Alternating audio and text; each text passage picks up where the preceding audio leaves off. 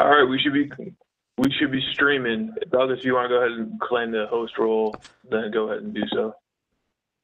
All right, We thank should be good to you. go. Thanks, Patrick. Uh, Commissioner, Absolutely. Commissioner Parencer, whenever you want to get started, I think we're ready. Excellent, thank you very much. Um, we are here, it is Tuesday, April 6th, 2021. It is 4:03 PM uh, for our virtual German Village Commission meeting. Uh, Meeting is hereby called to order. Next commission monthly business meeting will be at 12 noon Tuesday, April 20th, 2021, a virtual hearing via WebEx, similar to the one we're at at the moment. Next commission hearing will be 4 PM Tuesday, May 4th, 2021, again via WebEx, as we are now. Uh, Swearing in of staff, please. Staff, say hello and raise your right hand. Okay, hello, and um, I do, you know, attest to you telling swear the to tell the truth truth, all the truth, and tonight. nothing but? I do. Jacqueline Lehman, Assistant Historic Preservation Officer. Excellent, thank you. Uh, Introduction of commissioners present. If you would please uh, indicate by saying present when I call your name. Commissioner Thiel, Present. Commissioner Durst, Present. Commissioner Ferrier, Present. Commissioner McCoy, Present. Commissioner Foley. Present. Muted. Ooh, he was here. Uh, Anthony Hartke is our chair. He is not present at the moment. He should be joining us in about 90 minutes. My name is Jay Panzer. I'm the vice chair and will be chairing this meeting. Um, is there a motion for approval of the minutes of the Tuesday, March 2nd, 2021 meeting? I so move. Second. Any questions? Those in favor? Aye. Aye. Aye. I guess I should, tec- sorry. Without objection, let's, let's do it that way, Commissioner Ferriel, as you are wont to say, without objection. Um, are there any issues for public forum? Uh, No public forum. Hearing none, we'll move on to approval or, or ratification of staff approvals, which begin on page. Wow, on page five. Yeah. Like it, short. I have to recuse myself from six forty-eight Mohawk Street. I've got to recuse myself from two twenty-four Lear, I think. Sure.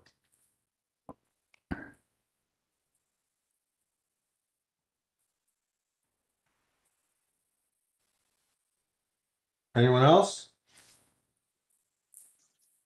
Would someone care to make a motion?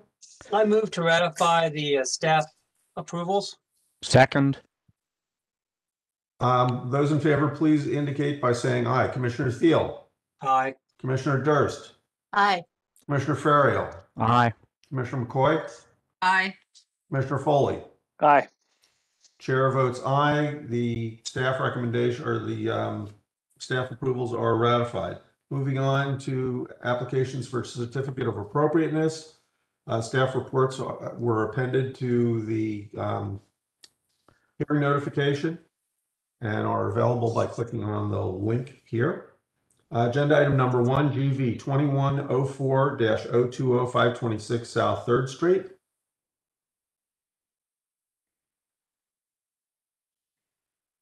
Do we have applicants for this application? Agenda item number one, 526 South Third Street. I don't see Okay, the hearing none, we're gonna applicants. stick a pin in it. We'll come back Okay. around to this. Agenda item number two, GV twenty-one 3 1139 Schiller Alley. Steve I'm here. Armstrong, Colin Ferguson. Steve Armstrong is here. I'm here. Colin Ferguson is here. All right, um, I need to see you on video somehow. I'm on video. I'll Okay, just- Steve. Just keep talking and you're, you- hopefully you'll pop up here. I'm on. Colin Ferguson's on video. I'll let Steve go ahead and hop on. I believe I'm on video, but I'm doing this via phone because I'm not in the office. Can you not see me? I see Colin. I don't see Steve. Oh, there we go. Ah, there we go. Will you raise your right hands, please? Do you swear to tell, do you swear to tell the truth, the whole truth, and nothing but? I do. I do. Um, and again, state your names, please. Steve Armstrong. Colin Ferguson. Jacqueline, tell us why we're here this evening. Okay, so 39 Schiller uh, Alley is a continued application, and the proposed work involves replacing original two over two windows with renewal by Andersen wood composite window, and that would be keeping the two over two configuration, and the exterior color for those windows would be black. So the original two over two double hung wood windows um, appear to be in repairable condition based on the submitted photos and videos. um, and the at the February 16th business meeting, the commission noted that the photos showed chip paint but did not appear to show structural damage, and that repair would be more appropriate. And noted the proposed Andersen windows are not on the approved windows list and requested a material sample to consider windows as a test case. And the applicant has submitted a window sample for the proposed Andersen composite window. A staff does recommend repair of the original historic windows, and those are based on the standards for alteration, specifically number two, five, and six.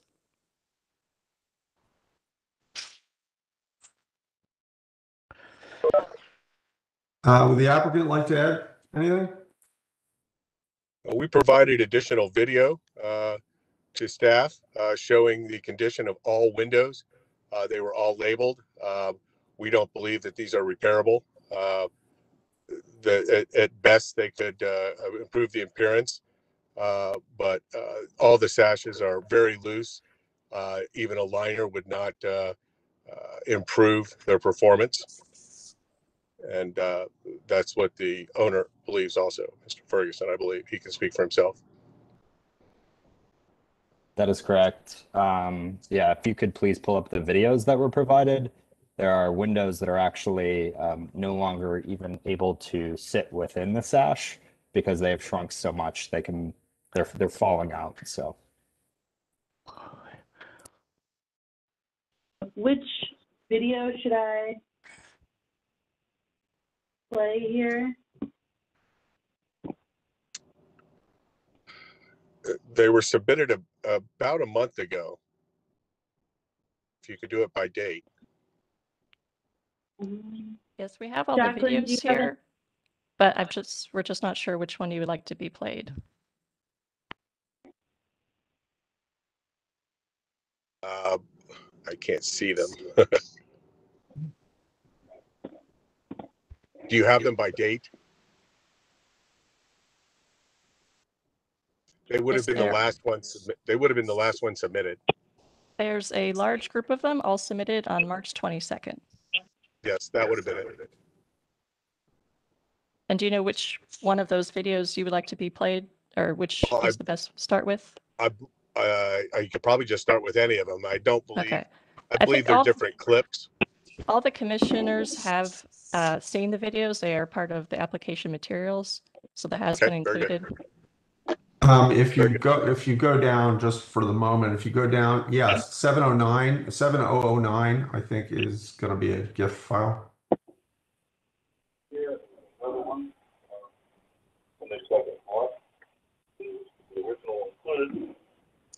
how high the meeting rail is here versus the front dash.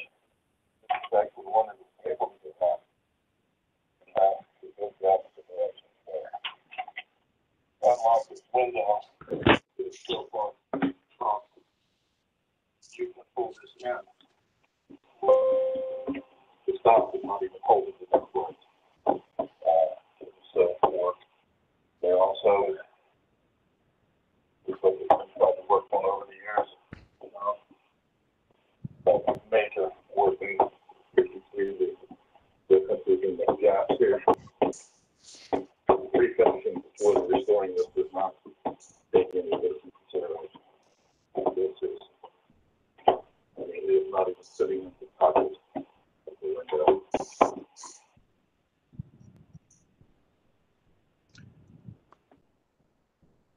You can see in the video that they're, they're no longer uh, even in the pocket.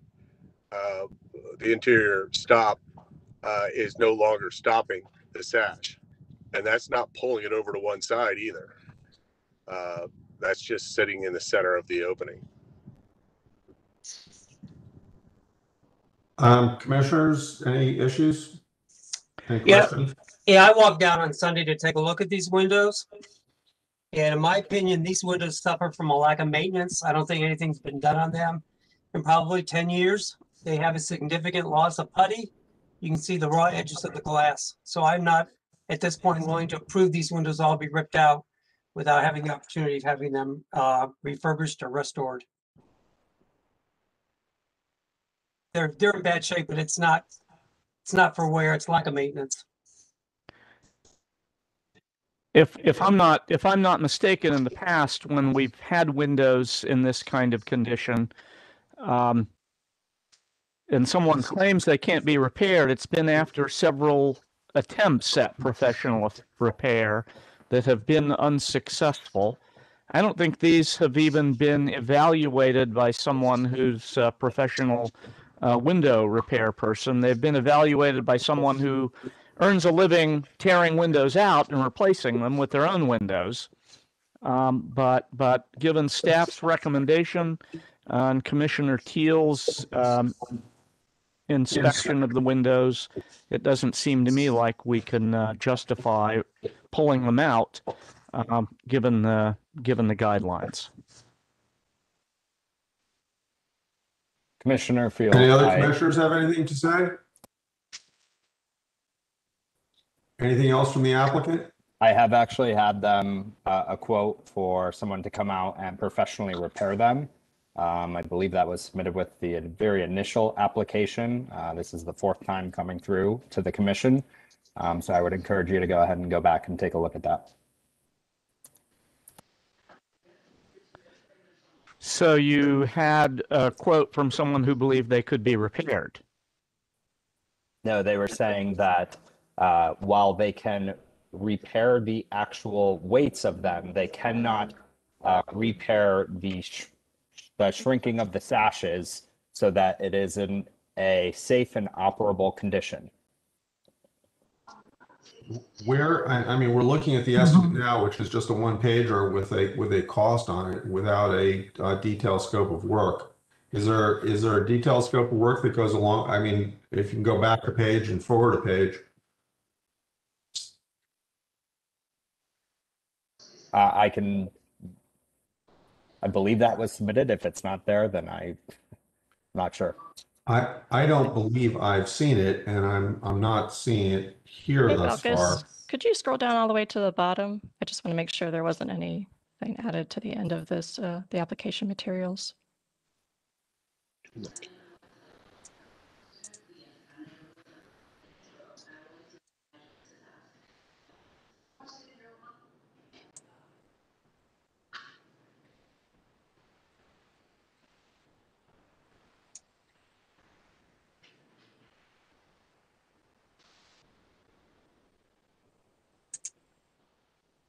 Sorry, I'm, thro- I'm scrolling through it as well and I'm not, The, I believe the estimate was for uh, appearance work. Uh, that, that's not what it, I, I mean, I, and I'm not disagreeing with you. I'm simply saying that's not, that doesn't seem to be what it says.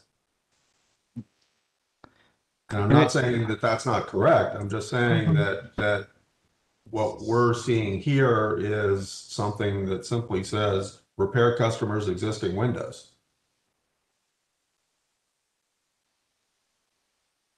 That's the, the first page on the, uh, of the, uh, the first page of the package that we've got from Window Works. And, and am I right? It seems like a pretty low price or pretty high price for cosmetic work. But what do I know about prices of that? Yeah, I'm not going to characterize that, but, but I, um, It's both sides, that's part of it. So he's scraping both the inside and the outside of the window, I believe. But he really can't repair them. There, there's nothing to repair, uh, except for the weight cords. Uh, and then just to go ahead and scrape them. Uh, you know, he can't expand the sashes or, I'll even line the jambs. uh, I mean, actually, actually, you're, you're listing, uh, excuse me, Mr. Armstrong, you're listing all things that can in fact be done. I don't know whether any of those are included in, in the quote because the quote is not detailed in that way, but what you just described are all things that can in fact be done technically. Can't stretch the jamb. I mean, you can't Yeah, stretch the actually, sash. you, what you do is you, you put fillers on the, on the edges of the sash and you, you match them in. So that, that is, I- I, I mean, it's, it's something that's done, but we don't, we can't tell from what we have. Uh, there's, there's, doesn't seem at this point to be any evidence that, that, that describes what it is that is being proposed here on this estimate for ten thousand eight hundred dollars. So, And the cost would be as a hardship case after it was denied. So not, not this jurisdiction, but as an applicant for the Yankee Trader Building several years ago, we had to, re- we had to do an extensive repair to the existing wood windows because that's in the Historic Resource Commission's uh, um, jurisdiction, and we had to take every sash out, evaluate what parts could be kept, what parts couldn't, replace pieces and parts, and put them all back together in a way that kept as much original as possible the conversation we had there, there is a point at which there's nothing original going back, where it makes it an interesting conversation of whether or not that's what to do. I, I'd be interested in Carissa's opinion on that regard and kind of um, with her extensive experience in that in that market.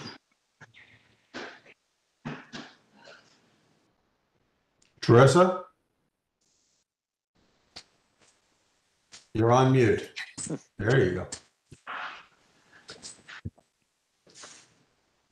Yeah, it's kind of hard to say without actually going out there. Usually we like stick things in them to see if the wood's still solid.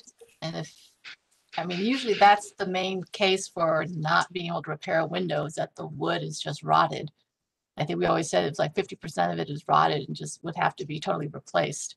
So without going out there and sticking things in the wood, but just from the uh, images, they look like they're in good shape. They've just over time absorbed moisture, swelled and shrunk, swelled and shrunk, and now they just don't fit the opening anymore. So Teresa, in that in that case, would you keep the existing uh, frames, sash pockets, and, and rebuild new new sashes as required? Perhaps use existing glass. I mean, is that the type of thing you would do?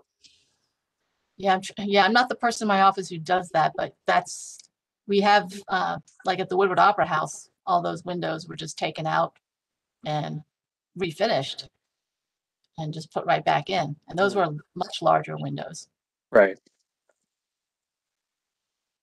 But my memory was that the wood was all very solid, even if none of the uh, sashes was quite square and didn't quite fit in the uh, openings securely anymore. Uh, that, that, that is a business. It's not a home that you're living in. So, uh, not a total fair comparison. We actually leave the sash, uh, I'm sorry, the frame in the opening. So our window fits inside the pocket. So we're leaving a decent amount of the window uh, there. But you're removing the sashes. That's correct. So at the end of the day, that's all we're, at the end of the day, that's all we're removing. Well, by, by doing that, you're actually changing the size of the windows as well by leaving the frames in place. Um, Not which- by much, just about a half inch on the width and hardly anything on the depth because it's pitched at the same degrees of that window and the base is only three inches and it's thick, the sill. So very little glass loss. You'll hardly notice uh, that it's even gone. It fits right back into the pocket in the frame of our window. Only Right, We're, we're, we're kind of getting, we're, we're kind of getting on, the, the threshold, the, the first part of the discussion is always about whether or not it passes the threshold for, uh, in effect, demolition of a particular piece of, of a historic structure. And I, I think that, that what you've clearly heard from, uh, from the city, uh, as well as from the commissioner, is that, that it appears that there is not, uh, significant support among the, the commissioners to warrant uh, removal of this historic feature of the home. Um, I, and, and I, I don't think there's any way to get through, to get over that threshold with the information that we currently have. There's an entirely separate issue of what an appropriate replacement would be and how that appropriate, how that replacement would take place. But that's a discussion that we don't even get to until we, until we get past the, the point of saying, yeah, these things need to go. We don't start talking about appropriate replacement is or what the appropriate details are um, or what the appropriate materials are. It, it, it- we just, we don't get involved with that other, other than to express that, that there are uh, a significant number of products on, on a pre-approved list. Um, if that threshold of, of removal is passed, uh, you know, those things are pre-approved and, and anything else has to be, you know, type, has to be specifically approved um, by the commission. But we, we aren't going to start getting in- involved with um, whether this is an appropriate product and, and ha- what the appropriate deal, details would be un- unless we get past the, uh, the removal of these products and uh, of these windows. And I don't see that we're getting there. And I can't believe that there isn't somebody at uh, Columbus Columbus Landmarks who knows of someone who could provide better insight to this. I, and I wonder if um, so. Jody Graichen, who's now working for the society, um, might have insights about this. I see that she's on the uh, on the meeting, but she hasn't been sworn in and didn't fill out a speaker slip. I don't think. Well, there were no speaker slips, so of course she didn't. Um, I, I don't really want, I mean, But she might be able to Somebody put that the could applicant suggest- into contact with someone at Columbus Landmarks. That is absolutely true. Um, and I, and I also think that, that, uh, uh, you know, Woodworks is in this business and provided a quote and it, it is possible that if there is sufficient supporting documentation that, that is, that can be provided by them to go along with that quote to explain what it is they're doing, they're proposing to, to happen. Yep. Um, then, you know, that, that might also get us past it. And, and the Um, homeowner can reach out to. Jody through the society. Yeah, yeah, well, I think that's what Commissioner Farrell is, is implying. Um, would, I, I don't see any purpose to drag this on. Would- Would someone uh, care to make a motion on this? Or would, would the uh, applicant like to continue it? Very, very good point, and, and let's, let's, let me explain that for, for just a second. Thank you, uh, thanks, Ned. Um, uh, you can, and I, and I think you've, you've been through this, uh, before, but if you request that the, um, that the application be tabled or continued, then you would maintain your place in, in, on the agenda. It would simply come back here. You can provide additional supporting information. Um, and, and we could kind of pick up the conversation where, where we're leaving it off now. Um, you can request that we, you can withdraw your application just outright and just not, not work it that way. Um, or you can, uh, request that we vote, in which case you have, uh, several paths for, um, appealing, uh, what, what appears to be heading towards an unfavorable outcome, uh, of a vote. So the first question goes back to the applicant, whether you would like us to vote on this or whether you would like uh, to, to withdraw it or whether you would like us to continue it. Would Woodworks, can I ask a question first? Would Woodworks uh, be a sufficient resource for you to evaluate? Or would we go down that road, have them do that, and then have somebody on the commission or the whole commission uh, or parts of say, well, you know, do you need a second one, a third one? Uh, Could you give me some guidance that? And, you know, if- because if, if we can find the right company to do that for Mr. Ferguson, uh, I, I think we'd like the table. Yeah. Um, So to me, it, it, it would depend on the credentials and experience of the folks at Woodworks. So all I know about them is you have an estimate from them and they have a name that sounds like they work with wood. That I, I mean, doesn't this this is, them to be an expert on, on window restoration. yeah, they, I mean, this is the business that they're in. And, and the quote that they provided in terms of, of the amount and in term, you know, in, in terms of the six hundred dollars per window is kind of what would be expected, I would imagine. Um, so I, I think that, that it is entirely possible that that was a, uh, would have been a, a, a totally reasonable approach. And, and in fact, if Woodworks comes in and says, listen, you know, if they're willing to put their name behind the fact that these things are not salvageable and not rebuildable, then that is something that obviously we would take, um, Okay, very good. Then we'll go ahead and table. We would give great weight to it. I'm not going to say, Okay. uh, you know, I can't presuppose what a vote would be, but we would give great weight to it. Well, well, I appreciate that. That, that answers my question. So we will go ahead and table for now and we'll go down that road and see if Mr. Ferguson wants to continue this dance. Uh, but, uh, for now, we'll table it and, uh, uh, see if we can get them to give a, uh, more detailed quote and give their opinion of whether, whether those, uh, will be, uh, sufficiently operable or just, uh, look better. Um, Okay. So Yeah, Mr. Mr. Very good. Chairman, Thank- item GV twenty-one oh three dash eleven thirty-nine Schiller Avenue, I move to continue. Second, Thank you. Commissioner Thiel. Those in favor, Aye. sorry. Aye. Commissioner Thiel, Commissioner Durst, Aye. Commissioner Ferriel, aye. Commissioner McCoy, Aye. Commissioner Foley, Aye. Mr. Panzer votes aye. The ayes have it.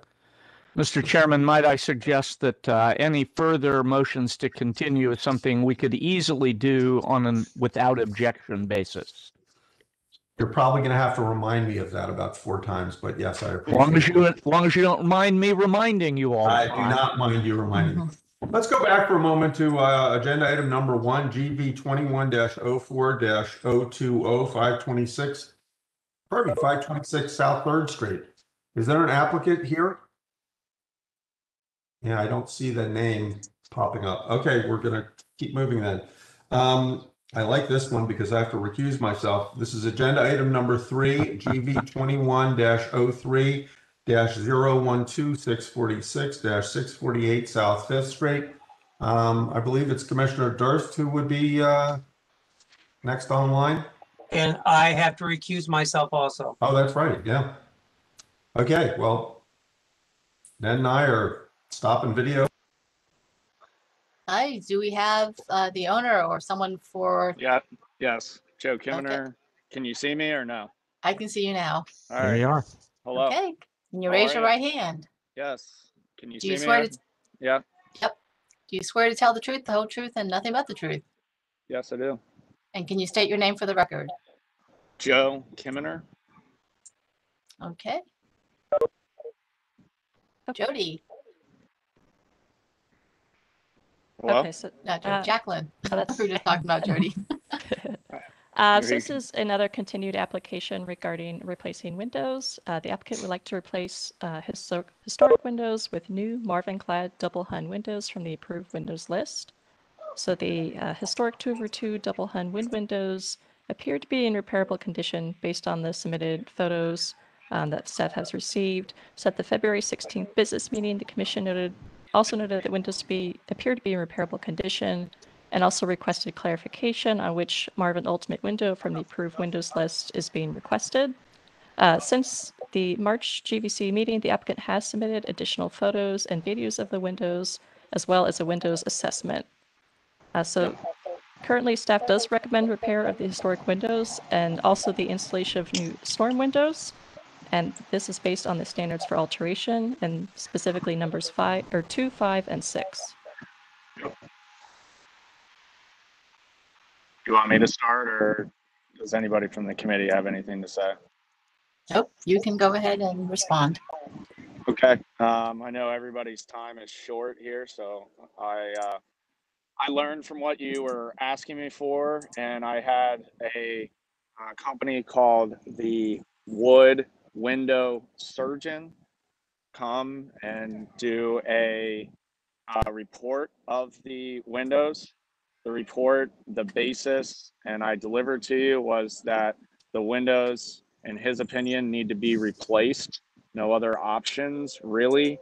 Um, any sort of repair uh, would not hold up long term. Um, so that is why my request is still the same is to go forward with an approved window by the commission and the um, after following up and getting the report Um, I understand the idea around storm windows, but I would, um, and based off of what he recommended for the house long term, I would ask that um, window replacement still be um, my request at this time.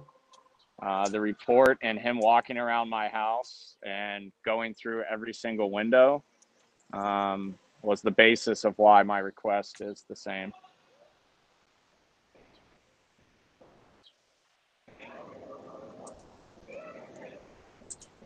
Am I missing the, I- the I- report? Was the report included in the agenda?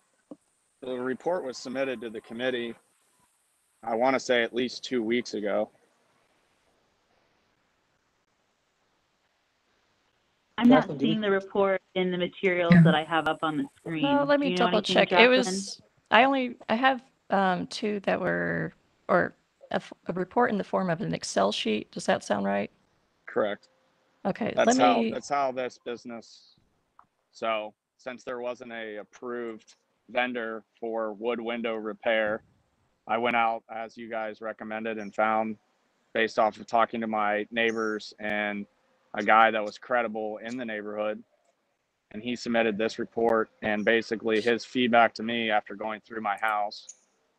And so that was basically what I was doing was following your instructions, providing the report and the recommendation of replacement. okay, let me see if I can't bring these up real quick. That should have been included in the application materials, but I think maybe given that it's an Excel form, it might have rejected them without me realizing it. But I can be able, I can share Okay. that. Okay. I'm just going to find it real quick, and then once I do, I will grab the sharing uh, tool and share those so we can see it on screen here.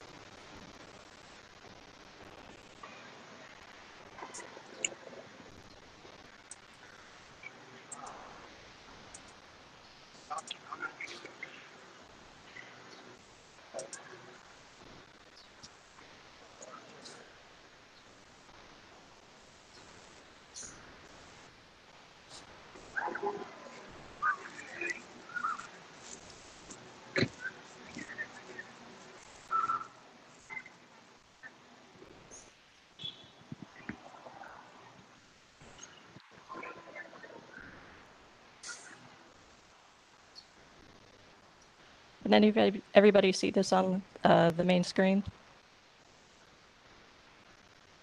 Yes. Okay.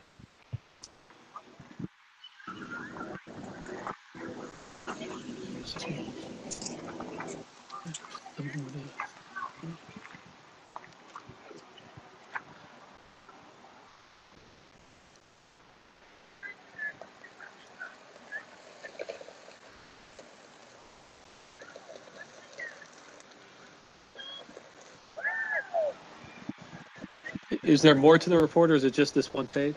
It should have been two pages. I sent two different reports.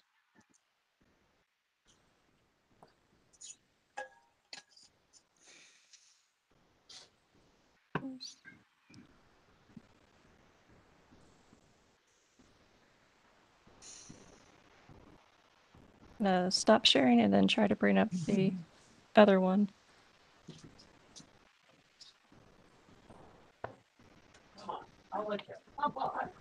Hang on, sweetie. Hang on. There Ned, was you're not muted. There was language, there was critical ra- language right there in the one you were showing to us a moment ago. Oh, here we go.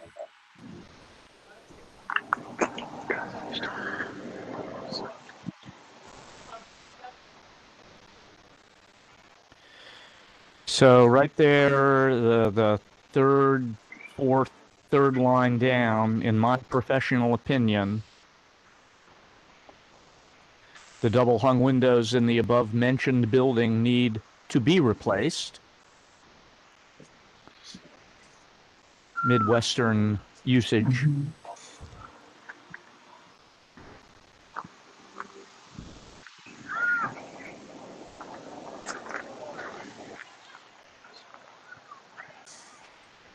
So, as I read this, the the the the okay.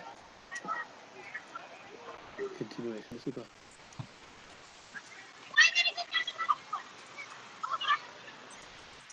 So is he saying you should replace them just due to energy bill concerns?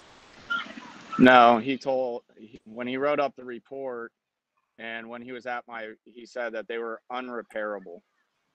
And he's the wood doctor repair guy that I brought in that the report is. And I know he's a maybe not but this is the report that he was you- able to provide. Can you I point mean, us? Can you point it to where it says they're unrepairable? He said that that's replacement. I mean, his wording is that his recommendation is replacement. I mean, if we want to nitpick his report, I mean, Well, no, I'm not trying to nitpick. It's it's it's the the the reason energy consumption is not the reason for replacement in the guidelines, and he says they should be. We're, what we're trying to s- I, I- I under- ascertain I is i- When he is wa- does he say they're needed to be replaced because of condition or because of energy concert consumption? No, That's what he he said that they were unrepairable. He wouldn't even charge me to repair them because he said it was it was throwing good money on something that's unrepairable. It will not it will not hold up. And he said, I'll put in the report that my recommendation is replaceable. And I said, okay. And so instead of telling him or anything with, I let him have his report exactly how so I could submit it accordingly. Not telling him what to write, but his recommendation at the end of the day is replacement. And it's replacement for those two reasons. So, I mean, Which two reasons? That he To wouldn't even, he wouldn't give me a quote to repair them. So I couldn't even get him. I said, "Hey, can I get a report, a quote to repair them?" He said, "No, I'm not going to charge you to repair these. These are unrepairable." Okay, thank you. So if you want me to go back and get a no bid from him, I just didn't think that was necessary when the report came back that his re- his recommendation was replacement from a guy who replace who repairs wood windows. I mean, this is what he does as a business, and he said no. So I I I- I didn't think I didn't think at this time I was like, okay, this is the wood window guy. Jacqueline, are you able to to bring the the first page up again, please? I'm just going to read. I'm going to read it in its entirety out loud Okay. for everybody. I think that that would be helpful um, to make sure we're all on the same page. Page one: Assessment of old rope and weight double hung windows at 646, 648 South Fifth Street, German Village. In my professional opinion, the double hung windows in the above mentioned building need replaced. The reasons for this opinion are this is inherently drafty design as it was used in a long period pre Civil War to after World War II, then energy was not an issue. Today, in this climate, these windows leak a lot of air, primarily at the meeting rails, the bottom rail, and through the pulleys. There is a large weight box on each side. If the windows, which is about four inches wide and as deep as the wall is thick, if you have balloon construction, much cold air will circulate in the walls and come out the opening spaces around the pulleys. You can add spring bronze J channels at the meeting rail, spring bronze at the side, weather stripping on the bottom of each shaft, etc. You can go to the next page. This is about all we can do. This is a band aid solution to a problem that will have to be addressed in the next few years, as energy prices are only going up. The Commission has approved Marvin. In my opinion, of the big three, Pella, Andersen, and Marvin, I would only always choose Marvin. I can spend a lot of Joe's money trying to weatherproof these windows, but I won't be happy with them, nor will Joe. In my opinion, new Marvin windows would lower energy bills, add value, va- value, value and comply with the rules of the commission. Correct. Can you? So what he's, but so the reason, and I'm just trying to understand what the I report mean- says. The reason he says. I says, mean, God, it, uh, it- it's also, I mean, it says it there in the first things. He's saying that I, I could put a band-aid on this, but it's not going to do anything. That's why he said that is saying the damage, that is the damage, not repairable. He says it in a way that I think you could look at that report and fairly say, okay, he's talking about two different things. He's talking about the repairs and the damage, and it's a band-aid. It's not going to be long-term. So, and then the again, second I haven't, thing is I haven't given my opinion of the report. I'm just trying to understand what the report says. That's Um, that's how I interpreted it. So that's why I didn't get a no bid quote. That's why I was trying to. It sounds, just by reading it and listening to Brent read it out loud, to me, it just sounds like he's saying, there's no way I can make these windows energy efficient. Yeah. oh man. So I'm gonna have He- to get he- him to come back. He doesn't talk about back. damage. He doesn't talk about rot. He doesn't talk about cracks, splinters, wood having to be replaced. He, he would not say that if he could just say, "Hey, we can fix it," so it's energy and what the ones he would do, then that would be able to be done. So I- I his, think- his his overall request for replacement from a guy that repairs wood windows. I mean, I I don't I I I, I think the report, yeah, if I would have Okay, I, I think the report says what the report says and we can go forward. So this this goes to my question about the background and experience of whoever we hear from about the windows. If if if the background is someone who does historic preservation work on wood windows who says they can't be repaired, that's one thing. If it's a person who repairs windows solely for energy efficiency who says they can't be repaired to make them energy efficient, that's a different thing that doesn't speak to the uh, to the standards in the guidelines. Jeff, you would acknowledge that I, the name of the company is the Wood Window Surgeon, and this is this was came back to my same point. So you don't have somebody that's certified, then there is this. This is what I asked about last time, and I'm not trying to waste anybody's time. I'm trying to get through this based off of what you guys are asking me for, and then if anybody I bring in doesn't hit the credibility of your organization that has no person that is verified. This guy is like, I can only ask around the community, like you said, this guy got verified that he's done work in the neighborhood. I mean, I, and then there's no way to vet it. It's like, you understand a little bit. I'm trying to do everything that you guys are asking me for. You asked me to go out and get a guy that specializes in wood repairs. I did that. This is his report. He says that his recommendation is replacement. I can't uh, like I'm a little dumbfounded here. I'm not trying to get frustrated, but we can go ahead with the vote. I mean, I, I've done everything I can for this committee to be a to be approved the way you're asking me for. The windows that you guys are asking for. I went out and got this independent person who specializes in window repair, which is really hard to find also. Somebody that is an expert in this space. I hmm. found him. I, I got the report done as you asked. I submitted it as is. I mean, it's like Did you talk to the folks at Columbus Landmarks? I, I I wasn't asked that from the last time we were on this meeting, Jeff. I didn't know that was a requirement for us to do that. Not I a would've done it- requirement. So I'm sorry. Excuse me. Go ahead. That that's it. I, I know. No, the the answer to yours is no. I, I did not do that, and I don't know if he is vetted out by them as an approved vendor by them. I don't know that. I don't. I suspect they don't have approved or unapproved vendors, uh, but I do suspect that they are a reliable source of people who can establish their credibility in restoring historic windows in accordance with historic standards in the German Village guidelines, which of course are based on Department of Interior guidelines. I think that based off of the research I did on him, he was very, very credible. He was very professional. He had come through. He had told me about all the places in German Village he had done work on. The fact that he knew that the windows were pre Civil War talked to his credibility of working on these. I don't think your average person who just does repair would know that.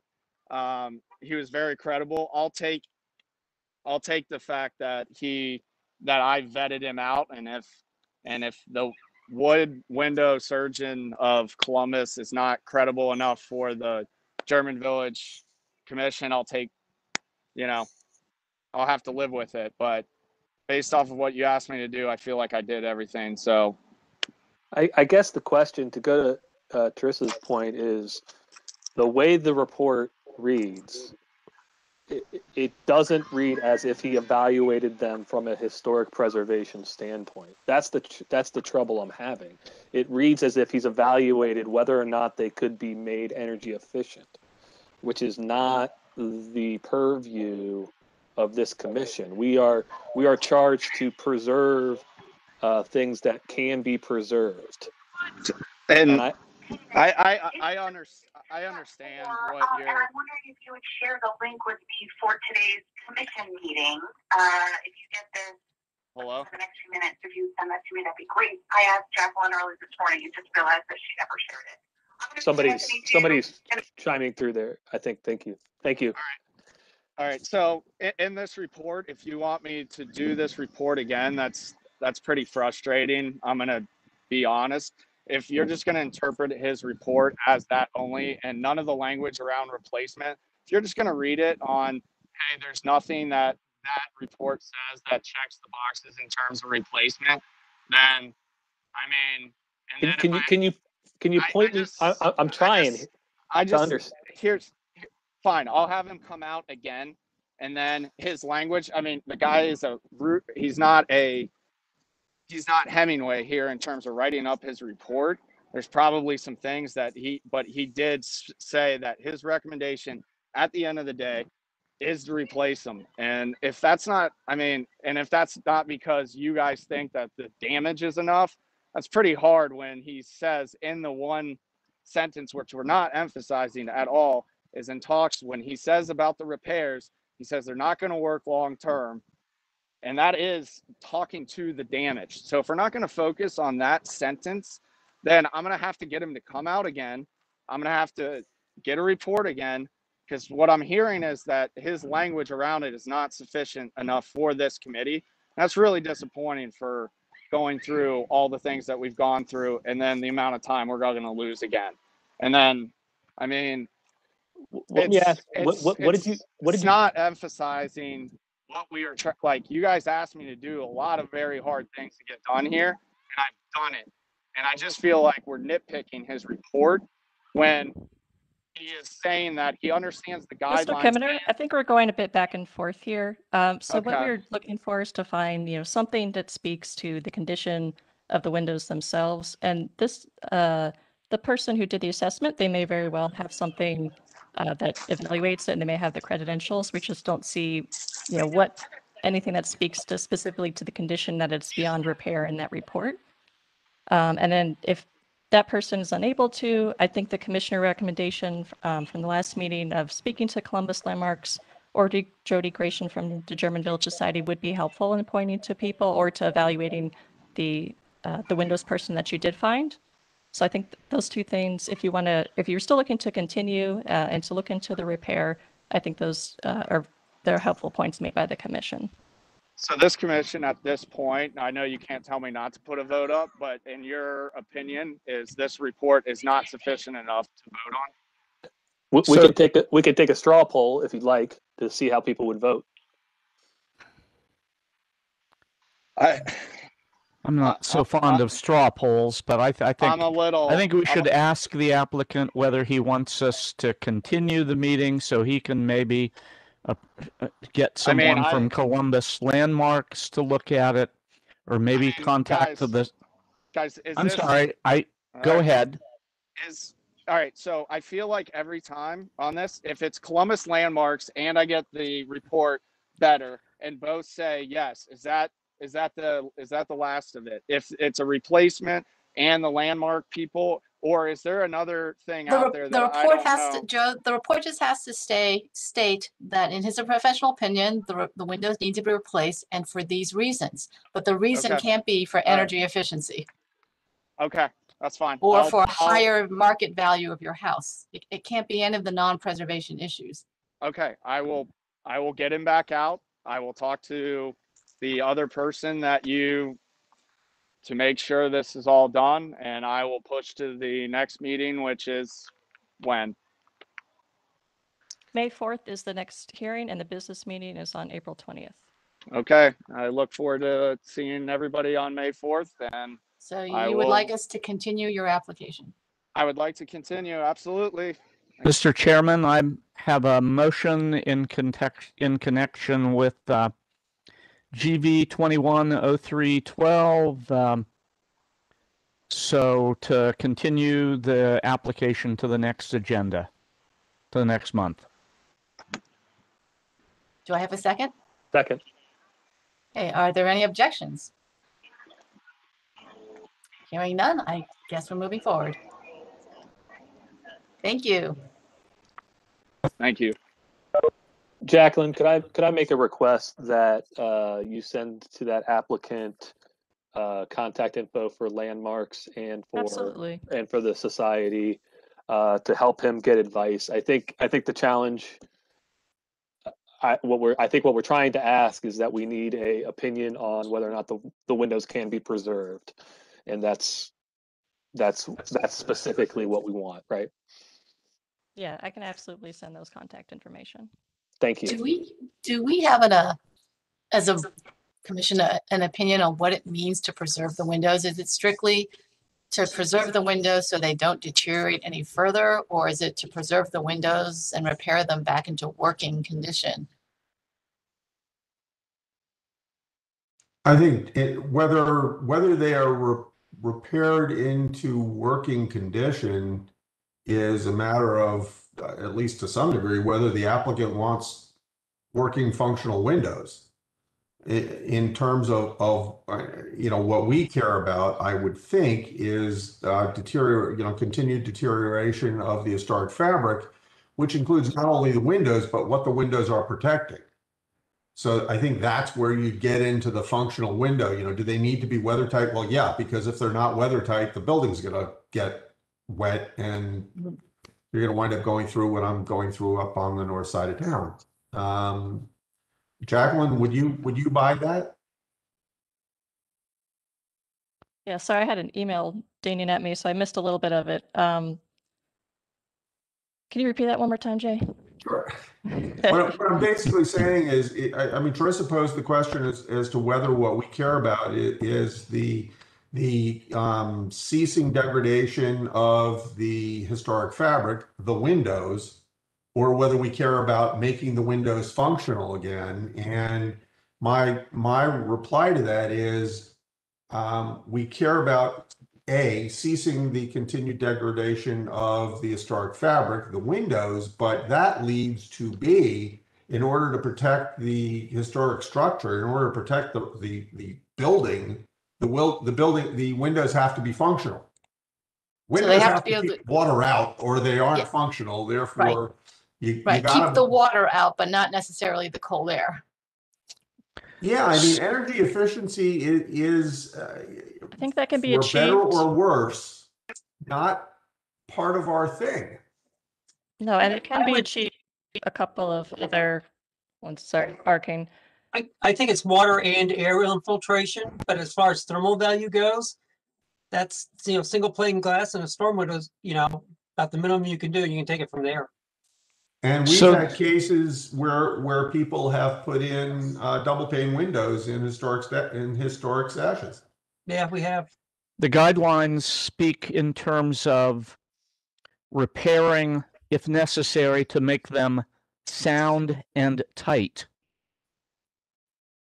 Not operable. Yep. Well, And, and and sound in tight response to what Ned was just talking about in terms of keeping out moisture Right.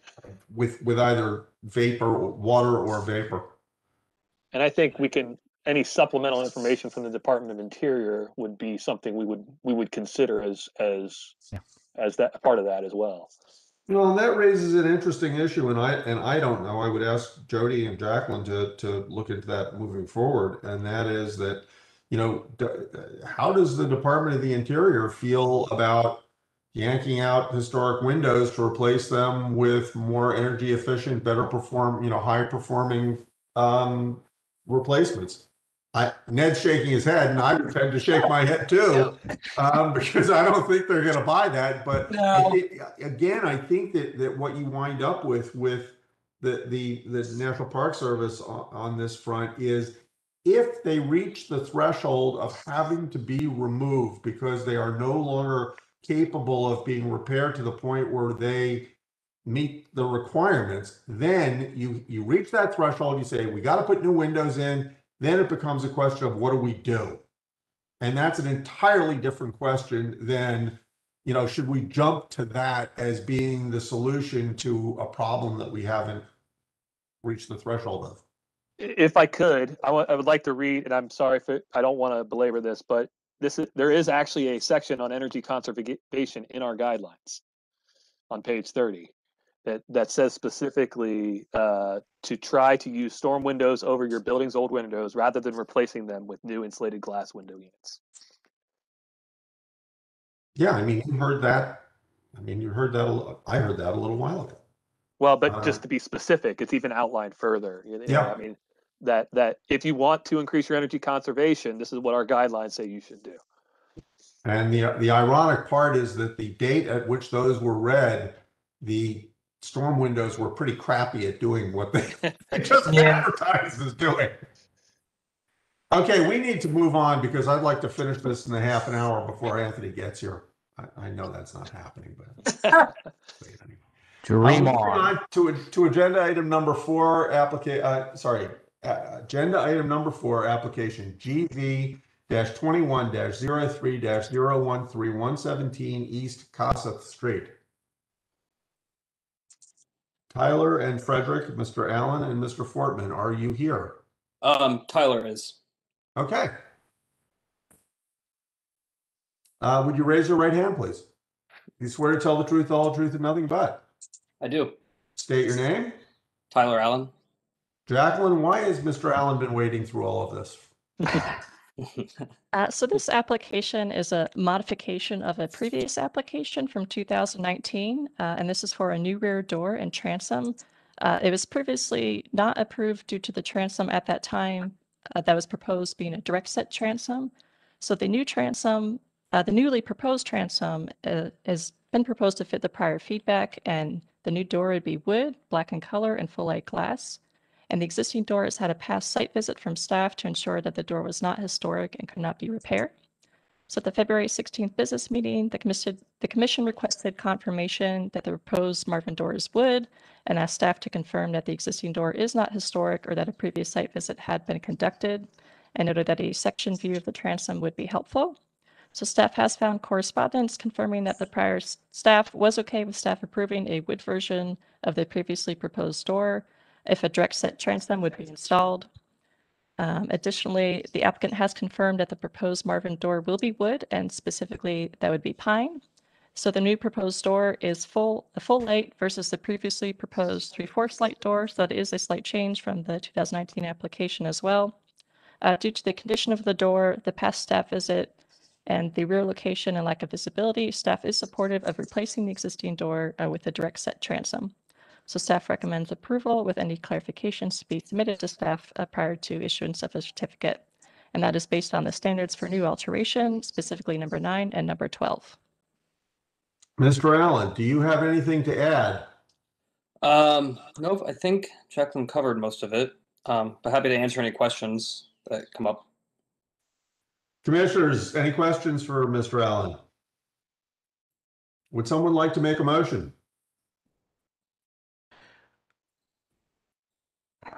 Mr. Chairman, with respect to uh, application GV twenty-one 3 13 one seventeen East, East Kossuth Street, Kossuth Street.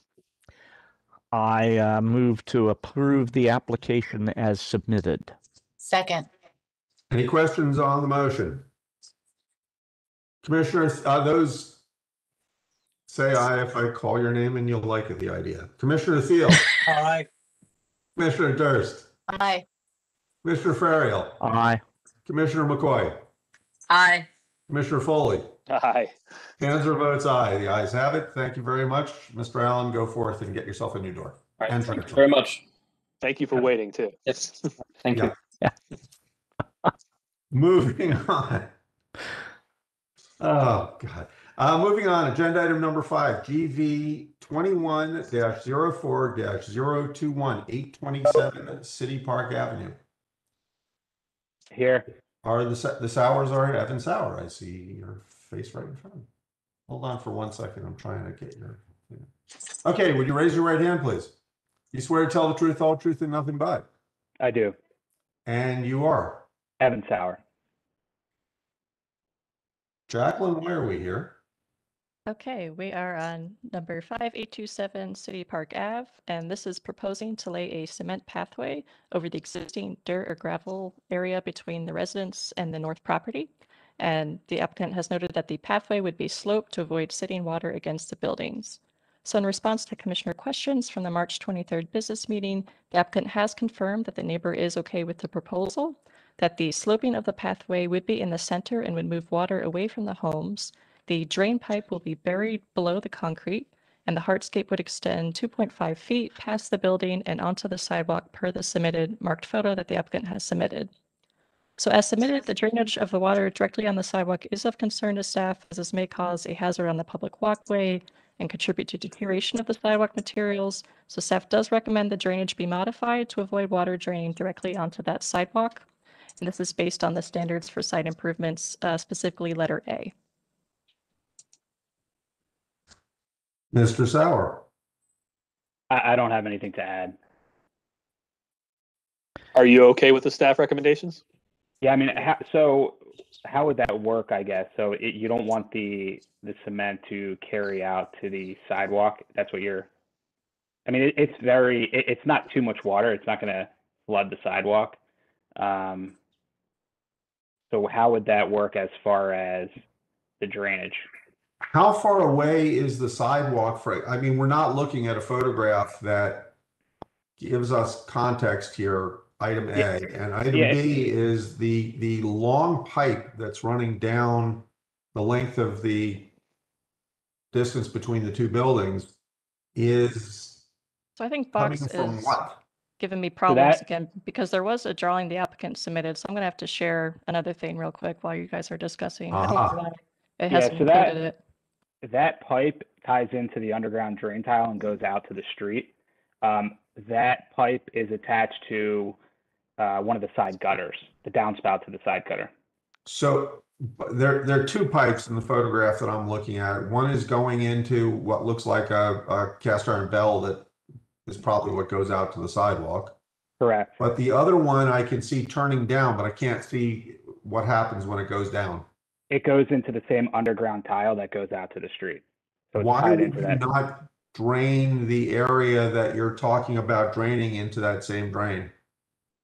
What, drain what area? I'm sorry, drain what area? The- Why would you not drain the concrete that you're putting between the two houses into that same drain?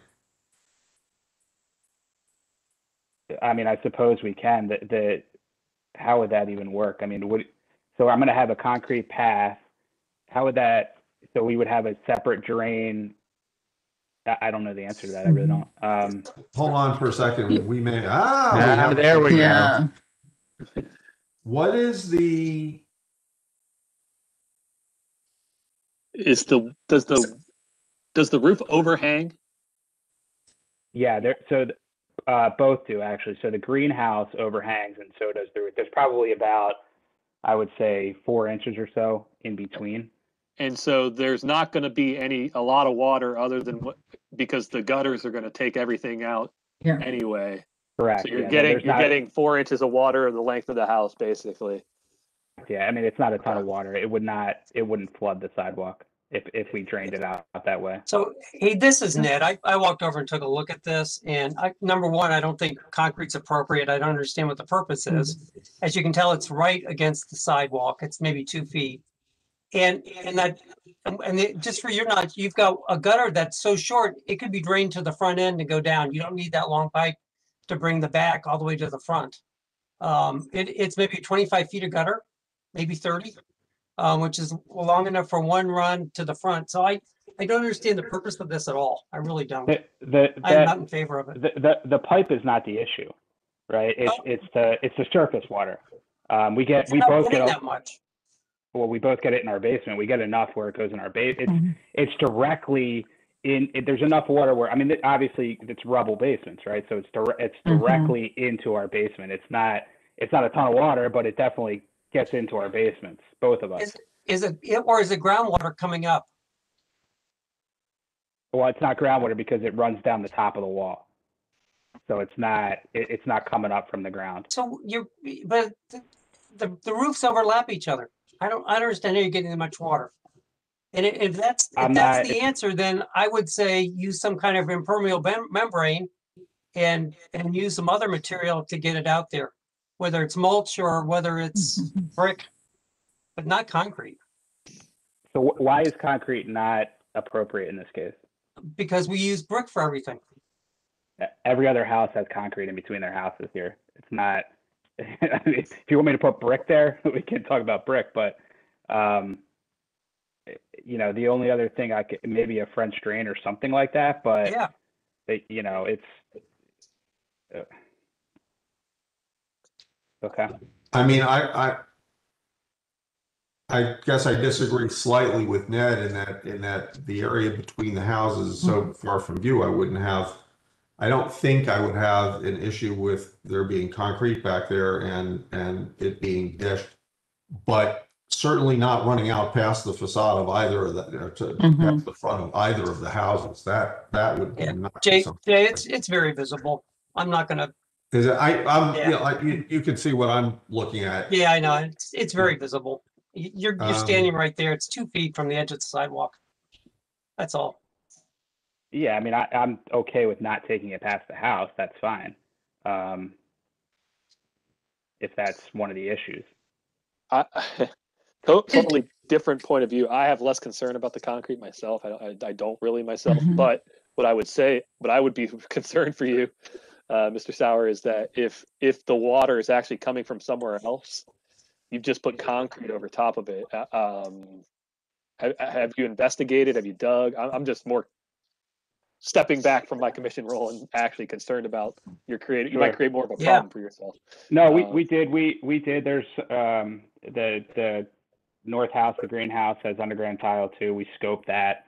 Um, everything looked fine. We, we've been dealing with this for, you know, two years with the water. Um, it's hard to figure out sometimes where it's coming from. Oh, from. yeah. so- You know, yeah. I, I, I agree hundred percent. And it's, um, I'm just looking for the right solution, really. It's,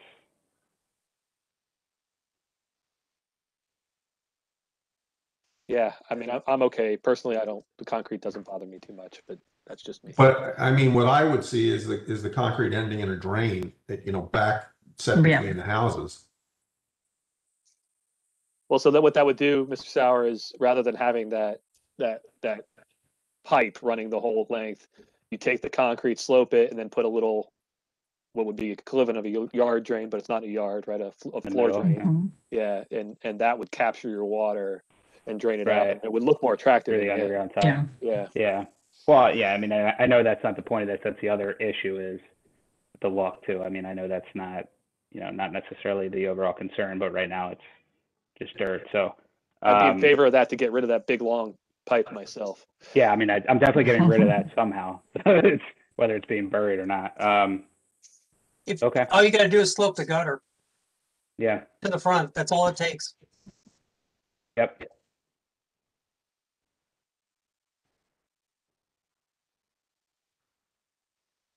And do you know that your gutters aren't overflowing and causing water to come down from the gutter into that area? Yeah. I mean, mine are mine are brand new. I mean, mine are a year old. Um, the house was renovated, you know, fully renovated about a year ago. So mine are, are completely, and I just had them cleaned out too. Um, so they're not clogged. It's gotta be fun to get in there to clean those. Yeah.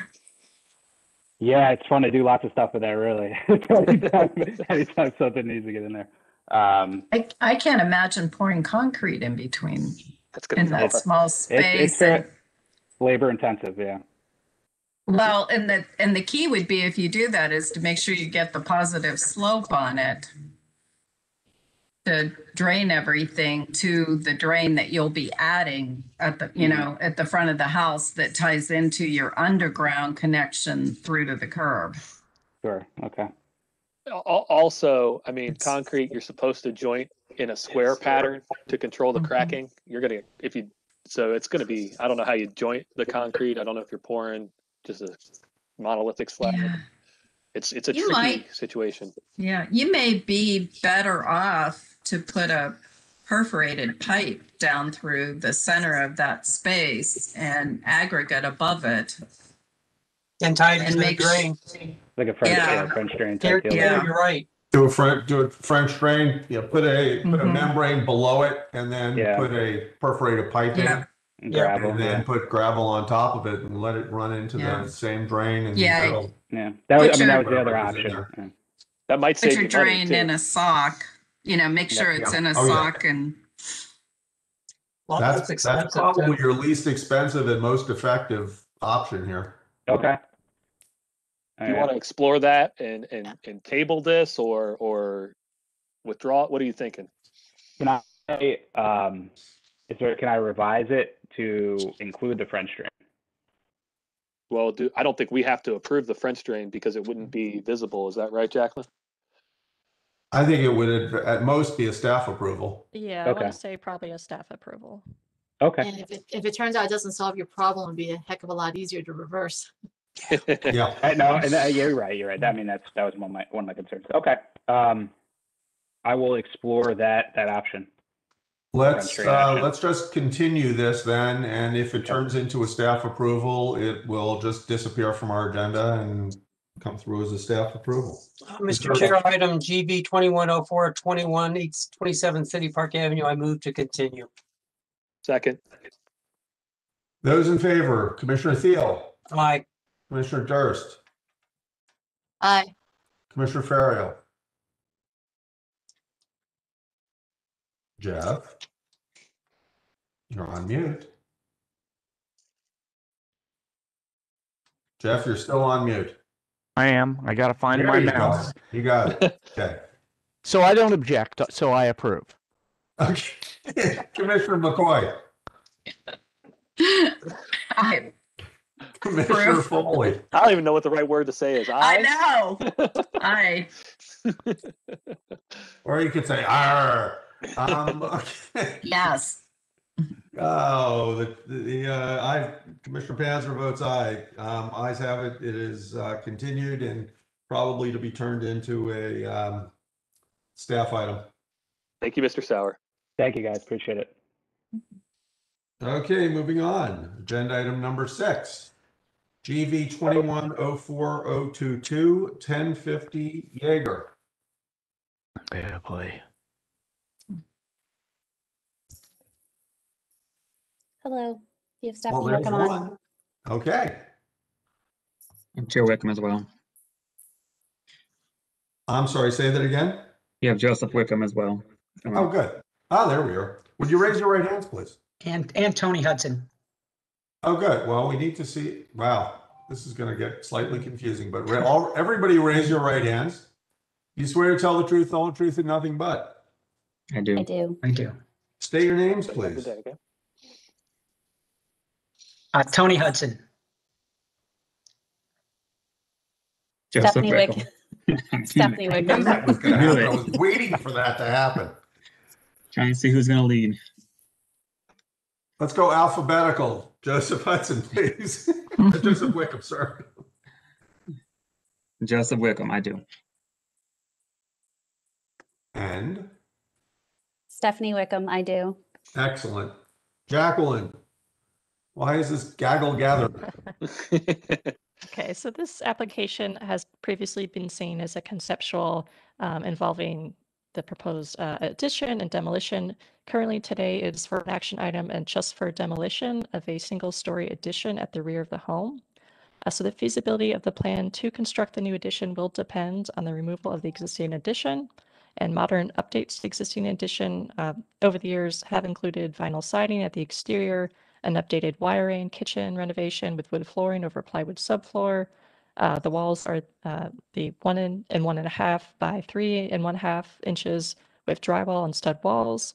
The existing main brick home has a stone rubble foundation and a two by eight inch floor joist and wood plank subfloor. The existing addition has a block foundation, a one and a half by nine and one fourth floor joist, and a three fourth plywood subfloor. So a previous conceptual application for the new construction demolition of the rear addition was reviewed at the February 2nd GVC hearing. And at that hearing, the commission asked for clarification uh, about uh, as far as, uh, sorry, I got a little extra stuff in here. Item, uh, as far as whether uh, evidence that the rear addition is historic or how much of it has been replaced. So the rusticated concrete block foundation is consistent with foundations installed in the early 20th century, and the dimensions of the structure appear to be remain intact. However, much of the historic fabric and character defining features do appear to have been replaced, and that's including siding, windows, exterior doors, interior walls, and possibly flooring. Uh, so staff does recommend approval with any clarifications to be submitted to uh, staff for review and approval prior to issuance of a certificate. And those are based on the standards of demolition. I'm also hoping that Box has finally up, uploaded my updates this time because I did find a previous application um, from back when in which the the rear addition was proposed to be demolished. It was approved at that time, and the reason for approval was that the rear addition was not found to be historic. Unfortunately, there are not the uh, the reasons reasons or rationale for the commission from that time that survive. Um, but I did. There we go. So it does have that in there. Okay, I- this is a very peculiar um, needle to thread, but I think that um, the the fact that you've provided the 1999, sorry, the 1999 um, application uh, gives us a little wiggle room. Um, Normally, we do not approve demolition without approving uh, what's going back in its place. We, we, we don't typically approve just demolition, although this is an addition, so you could probably argue that this could be approved if you wanted to plant grass back there. Um, however, in this particular case, we do have the fact that back in 1999, the application was submitted, demolition of this uh, addition was approved by this commission um, and signed off on by the then Historic Preservation Officer Diane Cole. Um, I, I, I look at this almost as a, and, and not that we would always agree to this, I think it's up to each commissioner to, to determine that, but in a weird way, this is coming back 20 years later and saying we want to do what we asked for 20 years ago. As a reference point, um, we are aware that the homeowner's husband passed away, and that's why they did not move forward with their planned renovation. Yeah, you just brought me down. I'm sorry. It's a really sad story, actually. Um, do you have anything to add? Does the applicant have anything to add? N- No, I think, uh, I think we presented what we have and, um, felt like during the, uh, review previously, um, there didn't seem to be any other questions from the, uh, board members.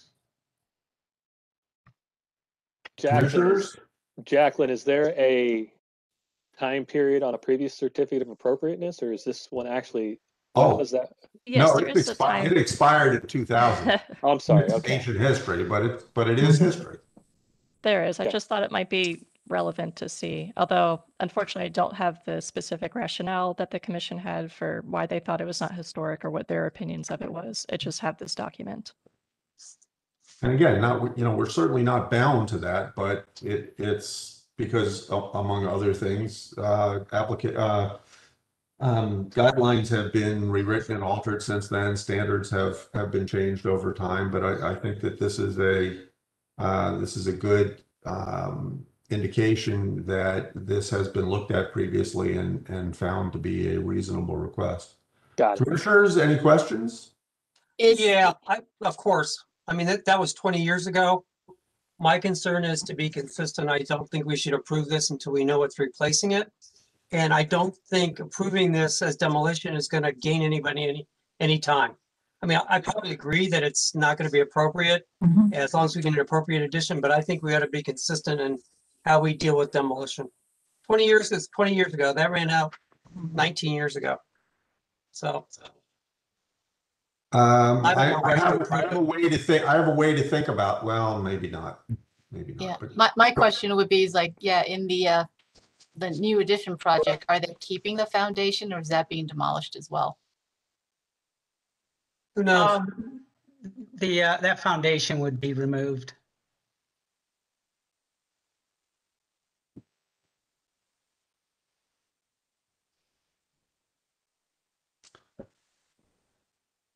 And I can't see any harm in, in letting this move on until we see what the design is. I think that, and, and a big part of me agrees with you entirely.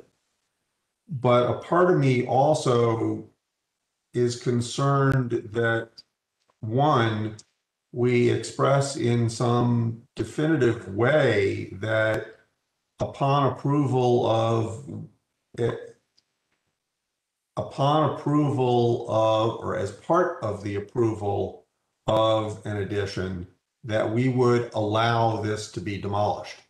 Because, um, you know, not having that assurance, frankly, the applicant doesn't, nec- you know, can't really determine what to design. And any applicant has that condition, Jay. Uh, And I don't think we have to show a good faith effort here. I mean, I, I think we probably all agree eventually if we see something that's appropriate to replace this, we would approve it. And, and I think we can wait till then. Yeah, because, I- yeah, I- because this one doesn't have a uh, demolition order. I mean, we've done that No. before when there was a structural problem and it just had. Oh, that's, that's something else entirely, yeah. Yeah, I guess the concern is like they take it down and then nothing goes back. I, I, We won't be doing that. It's our kitchen. You know. We, we can't survive without a kitchen. Can you, can you illuminate for us why you, you want the approval of the demolition now rather than when you have, can that, that might help us understand a little better. Well, well, this Sure, I'll was kind of, clarify. Oh, Go ahead. Tony. Go ahead. Well, this was the process we were kind of told in our, in our last, uh, previous design meeting. Um, it was brought to our attention that this was on the, uh, nineteen twenty Sanborn map and that we would need to get demolition. Um, I had s- s- spoke with Jacqueline and, and, uh, and they had asked for more information and this is where, this is where we are now. Um, and without the, you know, without the demolition approval, we really couldn't go further with a design if, if, if we weren't going to be granted that. It, it, uh, it doesn't allow us to expand in the back of the house. The, the problem, the, the, the problem we're facing, and I'm gonna see if I can find it real quickly, and I know I'm not gonna be able to. I thought we've done this as a conceptual before. That, that people have come to say conceptually, are you okay with the idea of demolishing the rear addition? Yeah. And that would, that would give you confidence to move forward with the next step, yeah. I think we really are seeking the confidence because as a parent, um, we need the two-story addition in the back to be functional so that the bedrooms can all be connected. And without it and having like a saddle walkway between, our bedroom would be separated from the children's, which is a non-starter. So that's really where we were seeking the confirmation that that as we plan our design, that we will come back for approval, that we could do the two-story connected addition to the rear of the home because the porch uh, kitchen area would not be considered historic. Yeah, Yeah, Steffi, my, I- con- my concern is the commission is consistent, which is demolition is approved after we approve what the addition is. If you, if you're looking for a conceptual that this ought to be removed, I'm there. I just don't think it needs to be an action that we vote on today. And, uh, and I will, I will, I, I, I- well, first of all, let's go, th- let's go through the commissioners and, and see, and I'm not going to ask for a straw poll particularly. Um, but let's see whether there are any objections raised or whether people agree with, with what Ned has to say. Teresa? Yeah, I would prefer to, to call this a conceptual, say it's okay to demolish, but want to see what's coming back. Okay, Jeff? Yeah, I'm with um, I'm with Ned and Charissa on this. I'd prefer to maintain a consistent posture. Karen? I would say uh, that as a conceptual review, that we would agree that this structure could be demolished um,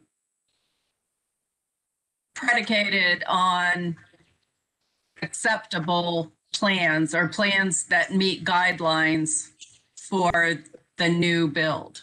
Brent?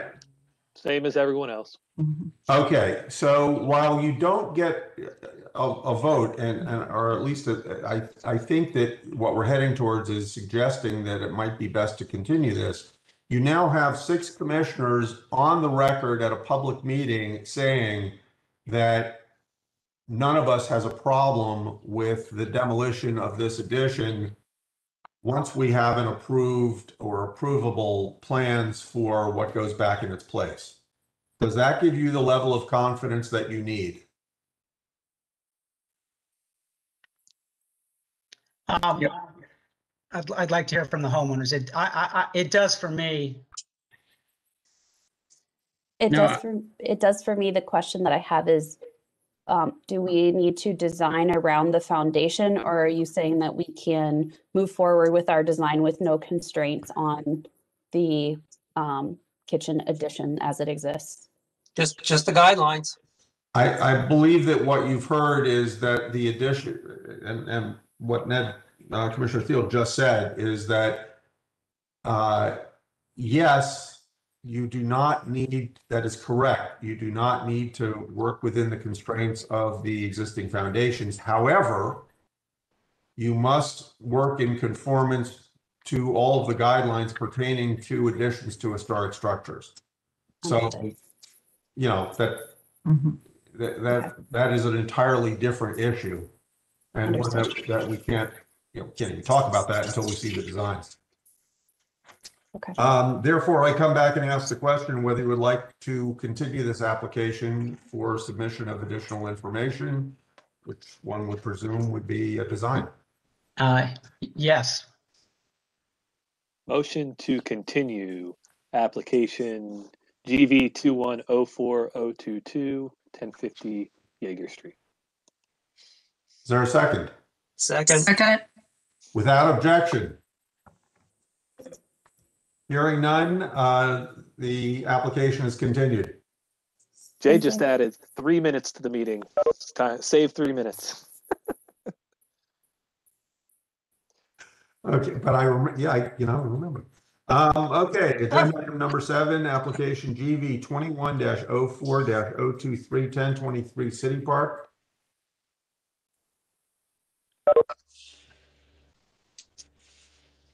Who have we? Yep, uh, Mike Abitins, owner. Yeah. Commissioner Panzer, Yeah. this is Chair Harkey. I am on the call now. Um, Oh, I love it. Okay, we're just beginning agenda item number seven, and I am relinquishing gratefully the chair to Commissioner Harkey. Thank you, Mr. Vice Chair. Uh, so as stated, GV 21-04-023, uh, we have an applicant, 1023 City Park Avenue. Uh, Would the applicant please raise your right hand?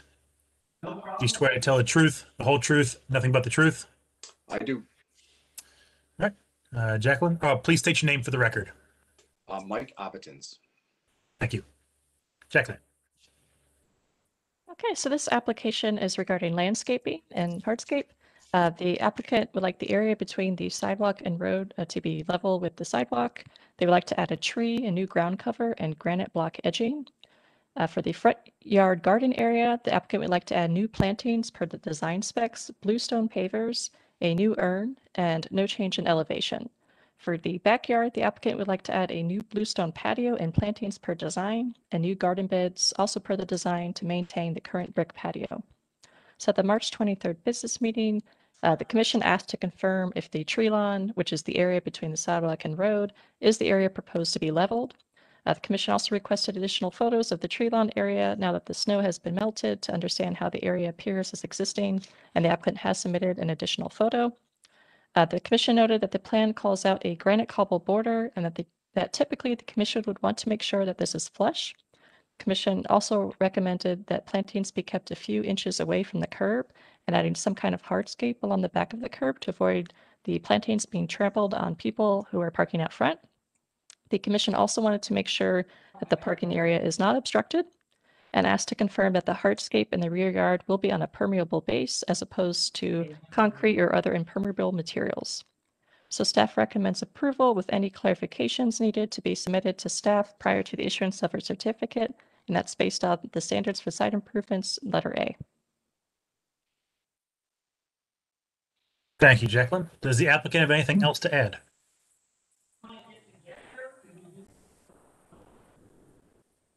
Mr. Vontis?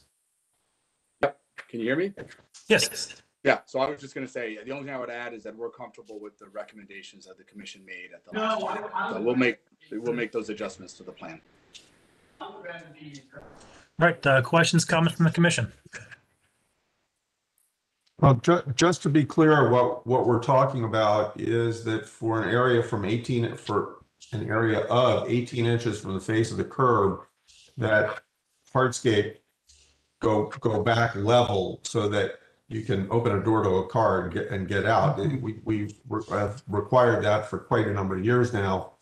Um, in order, because there, it's legal parking on that side of the street and you can't, you know, we can't obstruct the legal parking. Yep. Yeah, that's, that's fine. You know, right now, actually, you can't even get out of a car. Yeah, Because that's, of the- that's Yeah, what we you want to try to get Yeah. back. Yeah, so, yeah, that's, that's, I think that makes some sense. I parked my car there, so. Well, it'll save the bottom of your door from getting all dinged up. Exactly. Uh, That photo there, that's, if you look at the property right next to you, that's what we're trying to avoid is having that stone mm-hmm. piled up there, so. Yeah, yeah, that won't, that won't happen. Any other questions or comments? Commissioner McCoy, any, any landscaping comments on your end? Nope. Okay, Mr. Chairman, I have- have a motion on agenda item number seven, GV twenty-one 4 23 to approve um, as amended by the applicant to have level hardscape eighteen inches from the curb line uh, and to submit changes to staff. Second. are there any questions on the motion? Uh, hearing no questions. Uh, Commissioner Panzer, what was your, uh, your, uh, method of I'm not even sure. dealing with the last application? I had a car from the. Well, I- only uh, for something that's being continued, I, I've been, I, I started doing the without objection, but I've just been reading down the, the list for anything that needs to be voted on. Okay, just want to make sure I, uh, following what the, the standard you set here. All right, uh, no questions on the motion. We'll go ahead and we'll take the vote. Commissioner Panzer, Aye. uh, Commissioner Durst, Aye. Commissioner Thiel, Aye. Commissioner Farrell, Aye. Commissioner McCoy, Aye. and Commissioner Foley. Aye. Chair votes aye as well. Ayes have it. Motion passes. All right, guys. Thank you. Appreciate it. All right, uh, moving on to item number eight, GV 21 04 024 175 East Deshler Avenue. Do we have, uh, Yeah, Scott Eric- Remus. there we go. I'm looking for your face. Um, I said my video said it was on. I see you. me? Yeah, just scroll over a little bit. All right, uh, Sorry, I please- can't see myself, so I don't know if I- I'm in my car, so I don't know if I'm in video or not. No, no worries. You please raise your right hand and put it by your ear so I can see it. There we go. Do you swear to tell the truth, the whole truth, nothing but the truth? I do. And please state your name for the record. Scott Remus. All right, Mr. Remus, thank you very much. Jacqueline, Yep. Okay, so this application was previously reviewed conceptually and is now coming before as an action item. Uh, the application involves installing a limestone pool coping and bluestone patio around a new pool, and the patio would have a permeable aggregate base. So in response to commissioner questions from the March 23rd business meeting, um, including requests for confirmation that the area shown in the plan to the left is lawn, uh, and whether the curving line is meant to be planting and whether code will require fencing for the pool. The applicant has submitted a revised landscape plan that labels the space to the left, uh, confirming that the area is lawn. And the applicant has noted that the curved lines around the perimeter are the existing bed lines and that none of the plant beds will be changing. The applicant has said that normally the code for a pool fence is 48 inches. However, if a pool has a retractable cover, as the current uh, proposed pool will have, the fence height can be lower than 48 inches. And since um, this will have a retractable cover, the existing fence does fit code requirements. So staff recommends approval with any clarifications to be submitted to staff uh, prior to approval. Right, uh, Mr. Remus, anything else to add? No, I, I think, yeah, um, nope, nothing to add. All right, uh, questions, comments from the commission?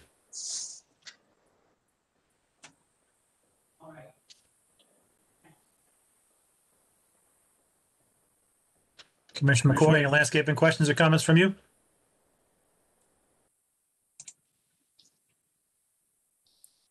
Commissioner McCoy, if you're, if you're speaking, uh, you muted over there. The shrubs, the shrubs that show up in the plan um, by the porch, are those existing or are those new replacement? No, that, that's not included in the, um, that's just gonna be empty bed for, um, for now, unless they decide to plant something there. That, I, that was just a suggestion on my part. Um, Okay. it's not a part of the scope of the work that, I mean, it, it is, there'll be a bed there, but I don't have, um, a specific plant named or anything like that. In, in my, in my brain, I'm thinking something like a hydrangea, but, um, Mhm. but that's not part of the scope of the project that we're doing. Okay. Anything else, Commissioner McCoy? Nope. Mr. Chairman, I have a motion on application number eight, agen- uh, sorry, agenda item number eight, application GV twenty-one 4 24 one seventy-five East Deshler Avenue to approve as submitted. Second. Are there any questions on the motion? Hearing none, we'll take the vote. Commissioner Panzer, Aye. uh, Commissioner Durst, Aye. Commissioner Thiel, Aye. Commissioner Farrell, Aye. Commissioner McCoy, Aye. Commissioner Foley, Aye. and the chair votes aye as well. Ayes have it, motion passes. All right, Thank you. Thank you. All right, uh, moving ahead to item nine, GV dash two one dash zero four dash zero two five, seven three nine South Third Street. I'm here. All right, uh, please raise your right hand. Do you swear to tell the truth, the whole truth, nothing but the truth? Yes, I do. And please state your name for the record. DJ Lieberman. Thank you, Mr. Lieberman. You're welcome. All right, Jacqueline? This application is proposing to install a temporary patio, including adding a 12 by 36 foot patio, although I think that has been amended to a 10 by 36 foot patio in front of a restaurant that will include five to six tables to be used for dinner service um, Tuesday through Saturdays in the evening times. So the work would include installing a temporary fence, temporary tables, and landscaping similar to submitted example photos. Um, the temporary fence may would be about 30 inches in height. No awning or umbrellas would be installed. The trees, benches, and monoliths would be removed. And the applicant also has amended the application to ask to retain the existing vestibule at the front door uh, and to have exterior painting uh, involving repainting the wood area on the front of the building. And the trim would be painted black uh, as it is currently. And the wood would be Farrow and Ball caulk green per the submitted example. So in response to commission feedback from the business meeting, the applicant has noted that they did not realize approval was needed for the vestibule that has been installed beneath the existing awning and would like this to be included as part of the application to retain that vestibule. So the vestibule was installed as a windbreak to keep cold air from rushing in during the winter time. Uh, the applicant has noted that the city owns the trees, which are Bradford pears and considered to be invasive invasive species. uh, and that the city will be removing the trees. The old trash can, uh, also referred to as the monolith, and the benches were owned by the landlord and have already been removed. The benches were freestanding and not anchored into the, the brick. Uh, the applicant would like to avoid anchoring any fencing and to use a base if the fence is wrought iron, or alternatively to use planters as a fence with plants, and they've submitted some example photos of what that would look like. The applicant would like to make the patio a seasonal patio and re- remove it during the winter months. And the applicant has submitted some additional photos uh, as well. So the applicant has adjusted the size of the patio, I believe to be 10 by 36 feet, uh, noting that the sidewalk is 18 feet wide and that the city's right-of-way guidance specifies leaving uh, six feet of walkway for the public. Uh, but the applicant feels this minimum may be tight uh, for the public to walk along, so has shrunk the patio size to accommodate more public walking space. So staff generally recommends approval um, as uh, with any clarifications to be submitted to staff, uh, perhaps with the exception of the vestibule.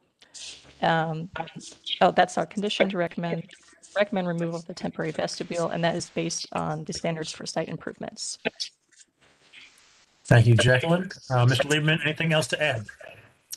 Uh, no, I just had a question about the vestibule and um, what the what what process I need to go through to um, bring that back next winter. Obviously, during the nice months, um, we don't need a windbreak uh, for cold air. Um, so I don't know if you recommend just refiling for that vestibule at a later time.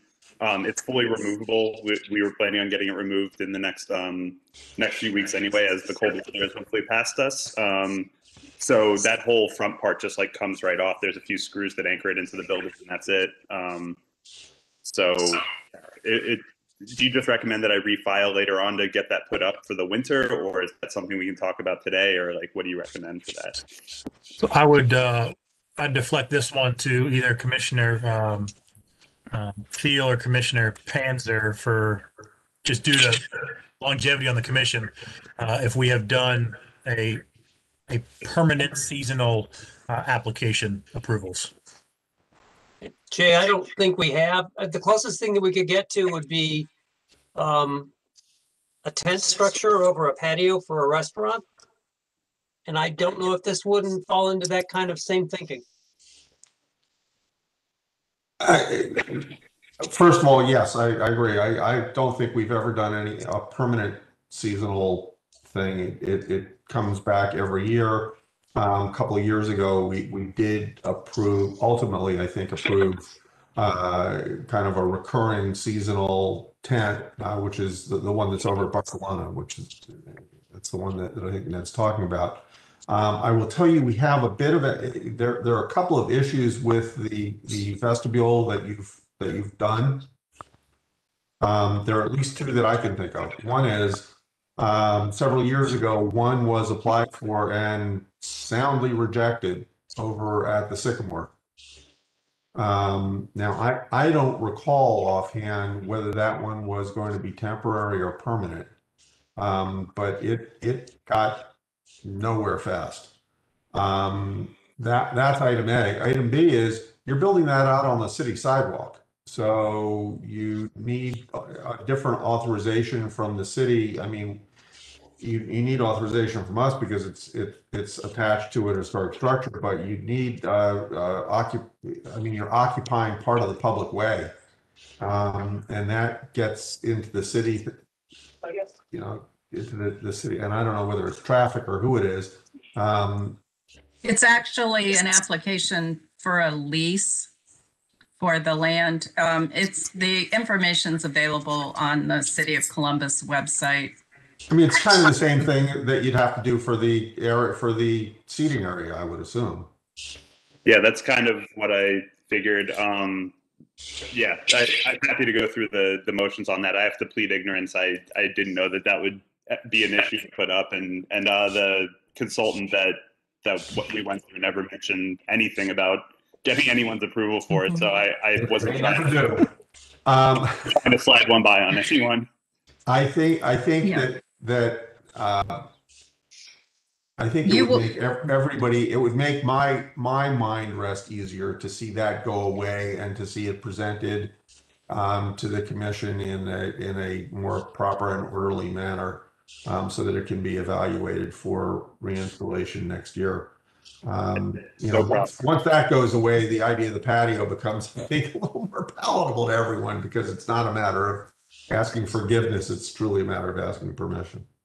Of course. Do we, do we know what this fence structure is gonna look like? So we we presented two options. Um, we're definitely leaning heavily towards uh, the planter box option, although um, I think it would look really nice. The picture that you're seeing right now it has a wrought iron um, surrounding that also happens to match the wrought iron at our next door neighbor's property. Um, I've already gotten a few quotes on people kind of mimicking uh, that exact same looking structure. Uh, I think either one would look really handsome. I'm okay uh, to go with whatever y'all recommend. Um, I would prefer to have planter boxes as the surrounding, but I'm totally okay doing it with. I, I would, I would suggest you have two issues with planters that, that you need to think about. One is they occupy a lot more space than a fence does. Sure. So you're immediately taking away at least a foot of your patio space. Um, and getting rid of those planters in the wintertime and finding a place to put them and moving them. Yeah. Um, have a good time with that. yeah, that was something I brought up to my designer on the issue as well. Yeah, I mean, I, I, I love the idea, but, but. it's gonna Not be- his problem. Yeah. And I'm curious as to the, the, the, the, um, I'm sorry, the, just lastly, that the, the fence that, that is shown in the uh, photographs that we're looking at, I can't tell how it's supported. It kind of looks like it's buried in the, you know, in the bricks. I think it's secured overhead, Jake. Sure, that's our that's our neighbor's patio, and that's a permanent structure. So, the, or sorry, our neighbor's fence rather, uh, and that's a No, no, permanent. no, no, no. The, No. the, the patio fence that, that was shown as an example. Um, if you can go back to the one that shows. Yep, That one, yeah. So I think it's supported Sort of overhead. Raised back up above. Yeah. Oh, yeah, you think that's the only? Uh, that wouldn't be our plan. Um, I, I think that it would be a standalone structure, whether it's putting uh, feet that are made out of the same wrought iron or uh, discrete concrete um, to put it into so that it's not damaging the brick underneath. The, Um, the- the problem, the problem with feet or a base is it's gonna be a tripping hazard. Uh, that's true if we uh, work it into our architecture of how the tables sit out there. I mean, trust me, I don't want anyone tripping on our property either. Um, yeah, I, I think that that's something to, to consider, but uh, very solvable. I, I mean, I'd like to see something that, that these things can't move back and forth, so they stay aligned in a straight line the whole summer. Yeah. Okay. Um, I mean, we haven't gotten the final design done for exactly what the fence material is going to be yet. If you have any recommendations, we're happy to do it. Um, I mean, we're, we're kind of at the point where I didn't want to get any quotes completely done until we had the um, the approval for the patio. You know what I mean? Like we we don't have the the cash to just, put at people for doing conceptual drawings of these things. So Um, I have a couple questions. Um, does your building sit on the right of way? Uh, I'm sorry, I don't under, I, I don't understand the, the question. Likely, yes. Yeah, So the to to to put the question in layman's terms, uh, the building there's going to be a, a a a property line that exists somewhere on your property, um, and then beyond that property line is the city property, which would be the right of way, uh, the street, sidewalk, curb. Um, and so the question is, does your building run right up to that property edge? And then everything in front of your building becomes city property. I, we all believe, I believe, I think we all believe that that is the case. Looking down, uh, image two of the packet, everything else seems to line up to that. Thank you for the clarification. To, uh, I, I honestly don't know the answer to that. Um, the landlord would know better than I do, uh, where our property line begins and ends. Yes, three Yeah. different surveyors, they're gonna give you a different line. Um, But I think, I think that for the sake of argument, I think you can assume that the building sits on the property line. I'd I'd be surprised if it So- were, if it weren't. so the, the concern that I have is, it, does the city intend, when they take the Bradford pear down, to replace a tree? Because as much as I love outdoor patios, um, I'm not in favor of a tree going down and not being replaced. So And I Karen, real- the tree is gone. The trees are gone. The tree is gone. Okay. They've taken them out. Yep. And, and to be completely honest with you, the the tree removal was not my um, scope or my Mhm. purview. That was between the landlord and the city. Um, so I was just told that they were going away. That was that you know I was, trying- I was trying to figure out how to do the patio out there, and I didn't see any way that we could do it. And the landlord said, "Well, those trees are going away. You see, they're marked in blue. They're going away." So Mhm. that that's what caused me to even put in the application because it wouldn't have been feasible if the right of way for pedestrians wasn't uh, adjacent to the street. Um, like the patio, it has to hug the the building for it to be legal for us to do it. Uh, so I, I understand where your concern is. Unfortunately, I don't have a good answer for you because um, it wasn't in my scope to get those trees removed. Okay. So Karen, I would think for this application, we have to treat him as if that's not part of the Yeah. conversation. God, I'm glad that trash can's gone. It was nasty. I didn't know that we, I didn't know that that was the landlord's either. We would have removed it six months ago. So to me, it looks like the only thing we have to approve is the exterior painting because there's no fencing or anything else to approve yet. Well, and, and I guess he's trying to get some direction on whether or not we're okay with the idea of a patio here. Um, which perhaps we can treat that part as a conceptual, is what you're getting towards, Ned? Yeah, kind of, because it's, it comes down to what the fence is. That's, I'm, I'm not concerned about the patio. That's something between him and the city and right away and all that stuff. I'm concerned about what the fence looks like and how stable it is and all that stuff. So, so, Mr. Lieberman, if I may, I think we're, you probably should separate your application into approval of the painting, which I don't know if that's even actually something we have to do. No, I don't think it is. Um, which would make that staff approvable and then move your other portion into a conceptual review to tell you that generally speaking, I- and I'm speaking for the commission and you guys can chime in if you disagree, we're all okay with the patio if, if the fence is appropriate. Mm-hmm. Why don't we just continue this thing and have it, have the painting part of it disappear and then he'll come back with a fence? Uh, can I back there for one second? Um, we're really against the clock here. We are in patio weather. I'm sure you understand opening a restaurant in August in the middle of the pandemic was not the best thing that we've ever done. Um, unfortunately, we didn't really have a choice. We already had a letter of intent signed. I had managers moving from out of state to the area, so we had to go forward. It would be a death sentence to us to not be able to get revenue any way that we can. And this patio, like the prospects of it and what it does for our bottom line, it would 100% get us through. I understand your concerns about the patio. I have the same concerns. I- Unfortunately, we just haven't gotten to the point where we've worked out exactly what that system is yet, but it will be secure. I don't want it moving. I'm sure that anyone who's been into the establishment knows that we do everything at the top notch. Um, yeah, unfortunately, I just don't have the exact answer for you, but we've given two good options what it could look for. I share your exact same concerns about having planters out there. What do we do with them in the winter when they go away? I would lean towards, like you said, the wrought iron for that, uh, for that reason. I mean, if you would like to ask us to approve the wrought iron fence per the photographs, Yeah. I could get my arms around that. And, and I think for the commission, um, this is a seasonal, so we would see it again Mhm. next year. So if, if the application that they provide this year turns out to be inadequate, we'll see it again. So we do have, we- it's not a permanent fixture. That's a good point, Anthony. Thank you. I- I'm actually not even sure that the city is going to allow uh, patios like this uh, next year. This is something that they're making exceptions for for COVID specifically. So, you know, there's a chance that we might not even be allowed to do this next year. Um, so, They can do it on Gay Street, you can do it on South Road. And I think the, the clarification for material wise, uh, wrought iron, not wrought iron like.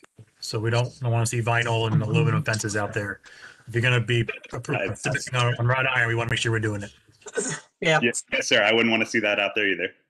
Mr. Chairman, I have a motion on agenda item number nine, application GV twenty-one 4 25 to approve the application as amended by the applicant to require, A, to not include the vestibule as part of the application.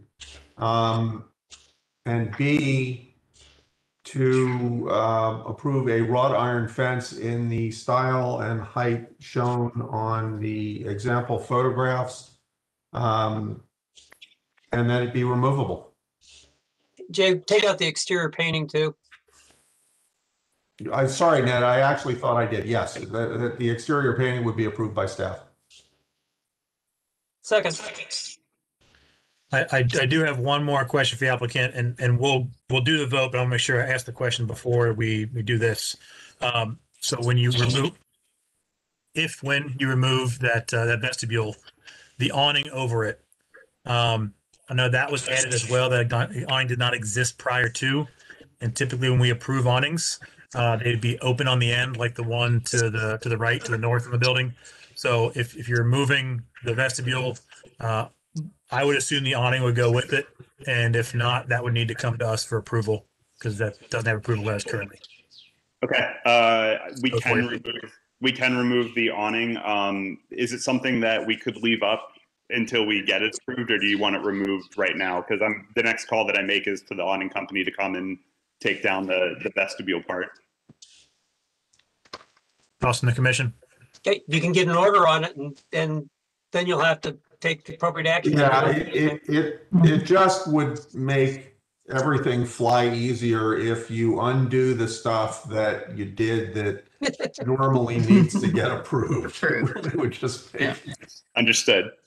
Just want to make, make sure I put that out there. I don't want you getting hit with a code order or something down the road here. Yeah. Address it. That's all. You're, you're right, Ned. And, and, and, you know, not, not everyone is going to love this, um, patio dining at that location. And the last thing you want to do is to give people things to pick at. you A reason to call you in. Yeah. I, I feel very fortunate that our neighbors have been extremely supportive of us so far. So I, I do appreciate that, and I appreciate your feedback. We'll get that whole thing removed uh, within the next few weeks here, and uh, yeah, I appreciate it. All right, we have a motion on the table with a second. Are there any questions on the motion? Uh, Jacqueline, we, we did make a few changes here. Are you good with the, the motion as it stands? Um, yeah, I just, I don't know if you mentioned this already. Is the final style of the fencing or any details like that should be submitted to staff? Was that part of Well, the the final, the final detail, yes, the details should be submitted to staff, correct. The style has been, what's been submitted as an example photograph. Okay. A a clarification on that, uh, Commissioner Panzer. Um, So for the applicant, you, you provided a sample photograph, uh, but then also said you want to match the neighbor's fence. The sample photograph has the rounded top, the schoolhouse fence. The neighbors had the the picket, the pointed top. Which one are you uh, applying for here? Just to be clear, be clear. Uh, I- I would probably prefer to match the neighbor's uh, fence. Um, ultimately, I feel like that's kind of up to y'all. What, whatever you would prefer, I'm good with.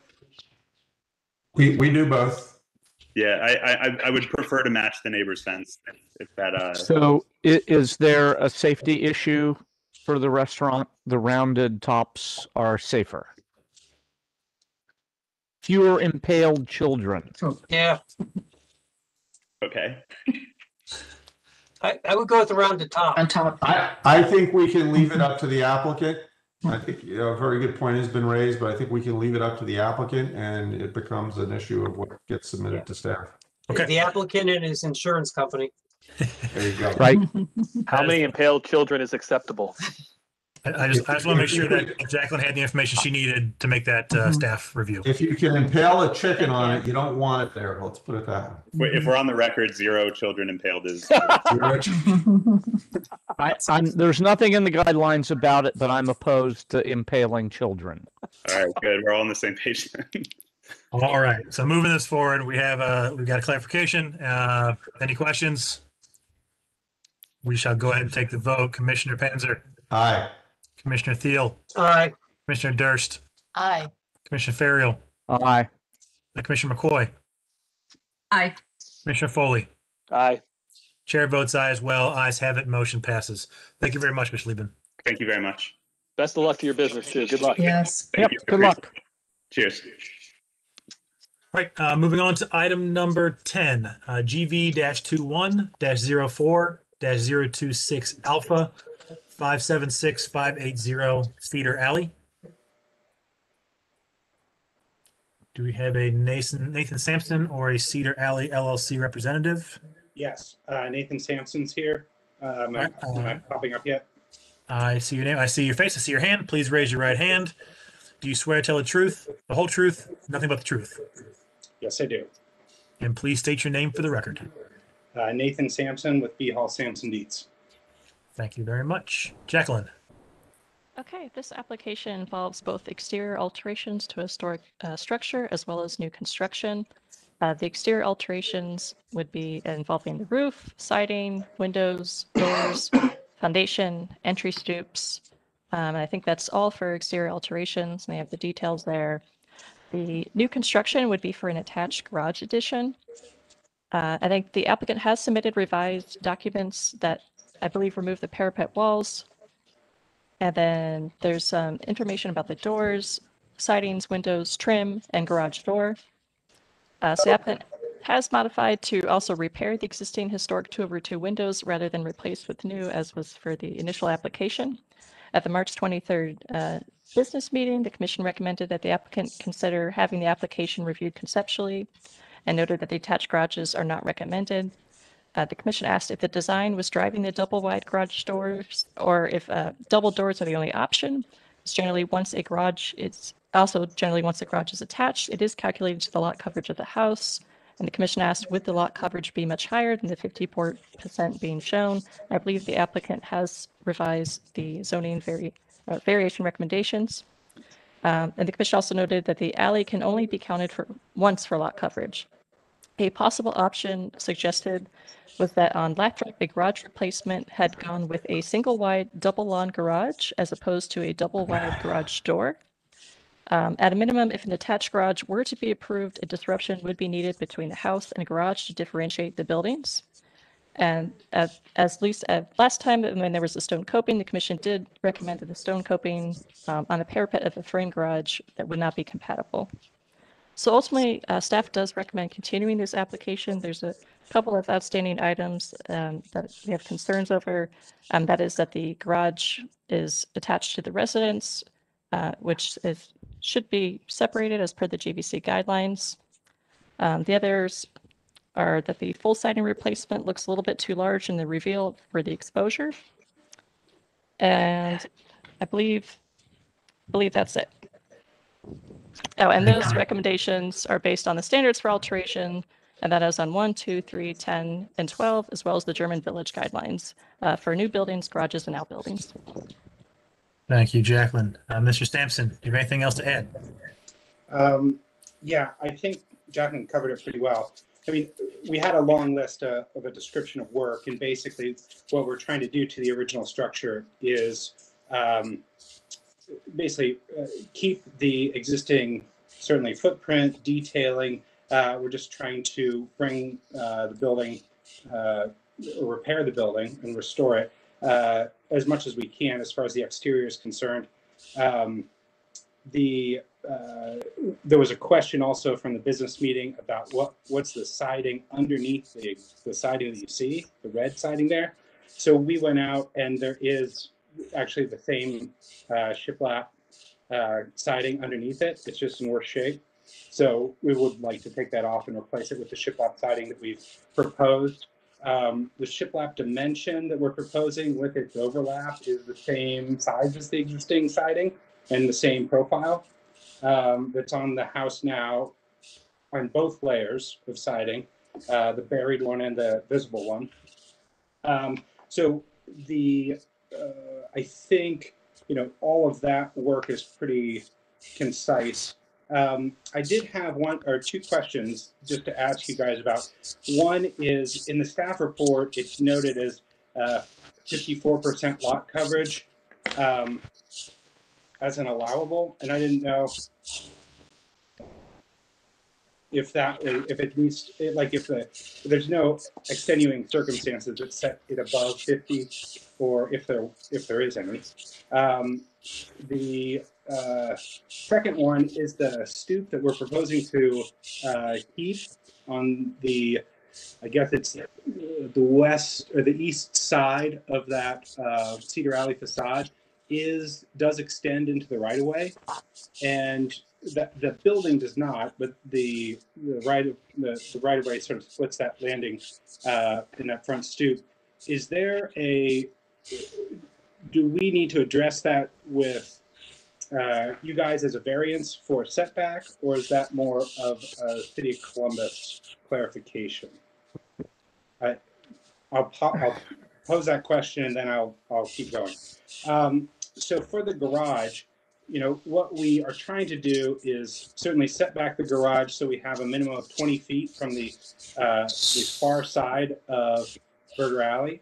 Um, and understanding from the uh, business meeting, uh, some of the comments that were uh, presented by uh, the commission, um, we understand that there's probably uh, a little bit to do here in uh, separating that garage if it is to be attached uh, with a hyphen and possibly um, a material change. And I wanted to get, I guess, the commission's uh, thoughts on how best to approach this garage uh, from a exterior finish standpoint and also footprint standpoint to uh, better uh, fit into the neighborhood. This is uh, something that we've done in the past on Mohawk.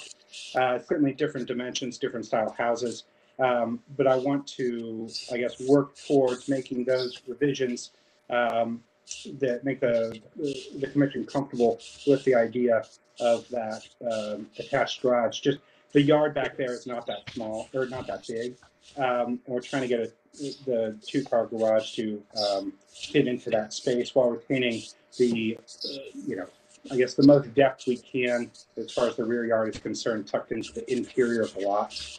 Um, there was one other uh, clarification that I think Jacqueline mentioned. The um, the cap on the garage uh, there was it was misnoted. It should be wood. Uh, and then the lot coverage calculation was incorrect. And uh, I think the lot coverage that we are looking at now um, is 61.5 percent. Um, because I think the calculation before um, took a greater footprint out of that side, uh, the alley allowance that we have off of Berger. Um, we're going to uh, repair and retain the existing two over two windows on the existing house and all street facing facades and also on the rear dormer, except for where we're proposing a door to be located in one of the window locations. Um, I think that's most of it. Yeah, and open to questions uh, or anybody's comments on the, the questions I posed for the uh, right of way and the um, uh, handling the garage. All right. Uh, we'll try to tackle your questions here and then move into the review. Uh, so your first question, um, you mentioned was about, well, first question we'll address about the stairs. Um, so right now there's a, there's one existing stair that's partially in the public right of way. Uh, and if I'm reading the plans correctly, um, we're proposing to leave just the one and not the other two, correct? Yes, that's right. So that's, that is existing. Um, as far as requiring a code, uh, variance, uh, I can't speak to that, but, uh, we would not tell you you can't have it. If you're not, if you're not replacing it, if you're leaving it as is, then it is existing and in our eyes, we wouldn't touch it. That, that's perfect. I appreciate that. Um, the, I forget what the very first question you had was. um, uh, talking about uh, how best or um, you know i think uh, and understand that this was a, um, a revision that was submitted but uh, dealing with the attached garage differently. I think that based on the commissioner's comments from the business meeting, um, what we want to do is provide more of a hyphen between the garage and the main house. Gotcha, And then okay. also consider, um, you know, it's a shiplap house. And so when we think about, you know, differentiating the garage from the house, you know, we, we could look at the siding of that, um, certainly the color and with some sort of hyphen to help diff, to help separate the two. Um, just in trying to, uh, meet the, you know, owner's goals and also, uh, achieve something on that alley that looks, uh, more appropriate, I think, with its separation. So I think what the commission needs to deal with first um, is probably the lot coverage. So you said you had sixty something percent, and typically fi- fifty is the is the code, and Okay. and getting anywhere high, that that high is something that we have to talk about and address, as well as an attached garage. So I think those are two big elephants in the room that, that we as a commission need to talk through and see where we stand. Okay. So questions, comments from the commission around those two items.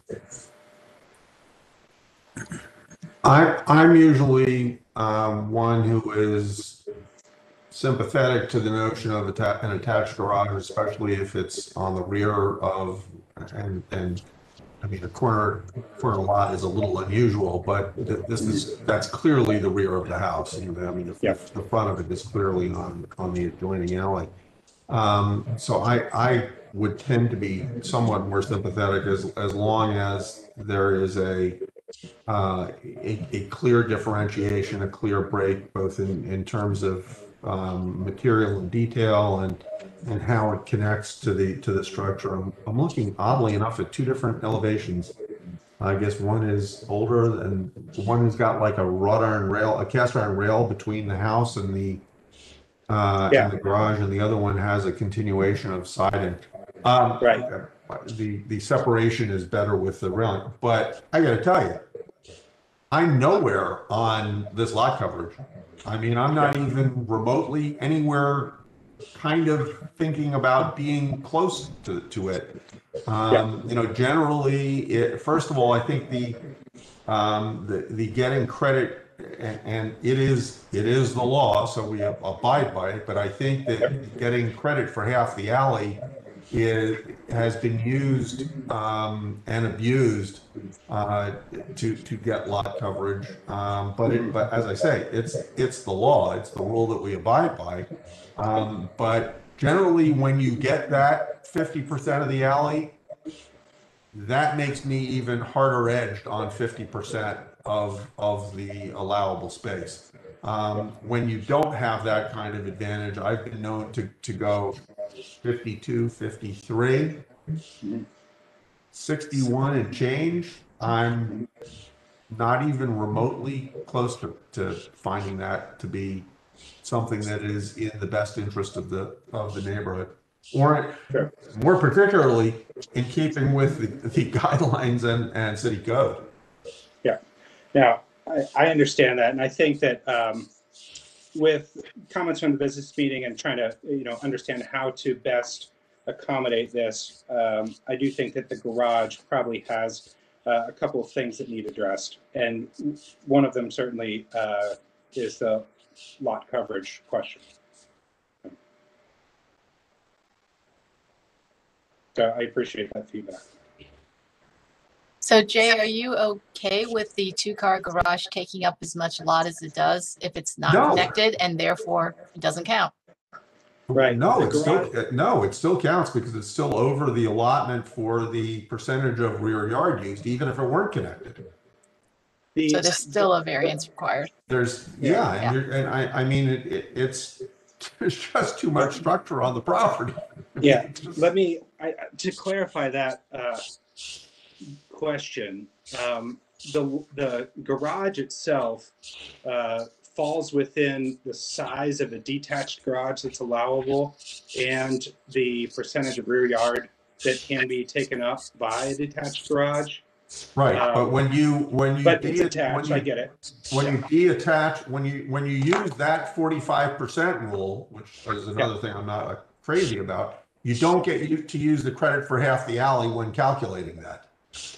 Yeah, Right, correct. And, and I, I was running the calculations and like, so if it wasn't attached, it, like, it would, fa- as it sits now, it would fall within the allowable detached garage size and rear yard setback from the numbers that I'm getting.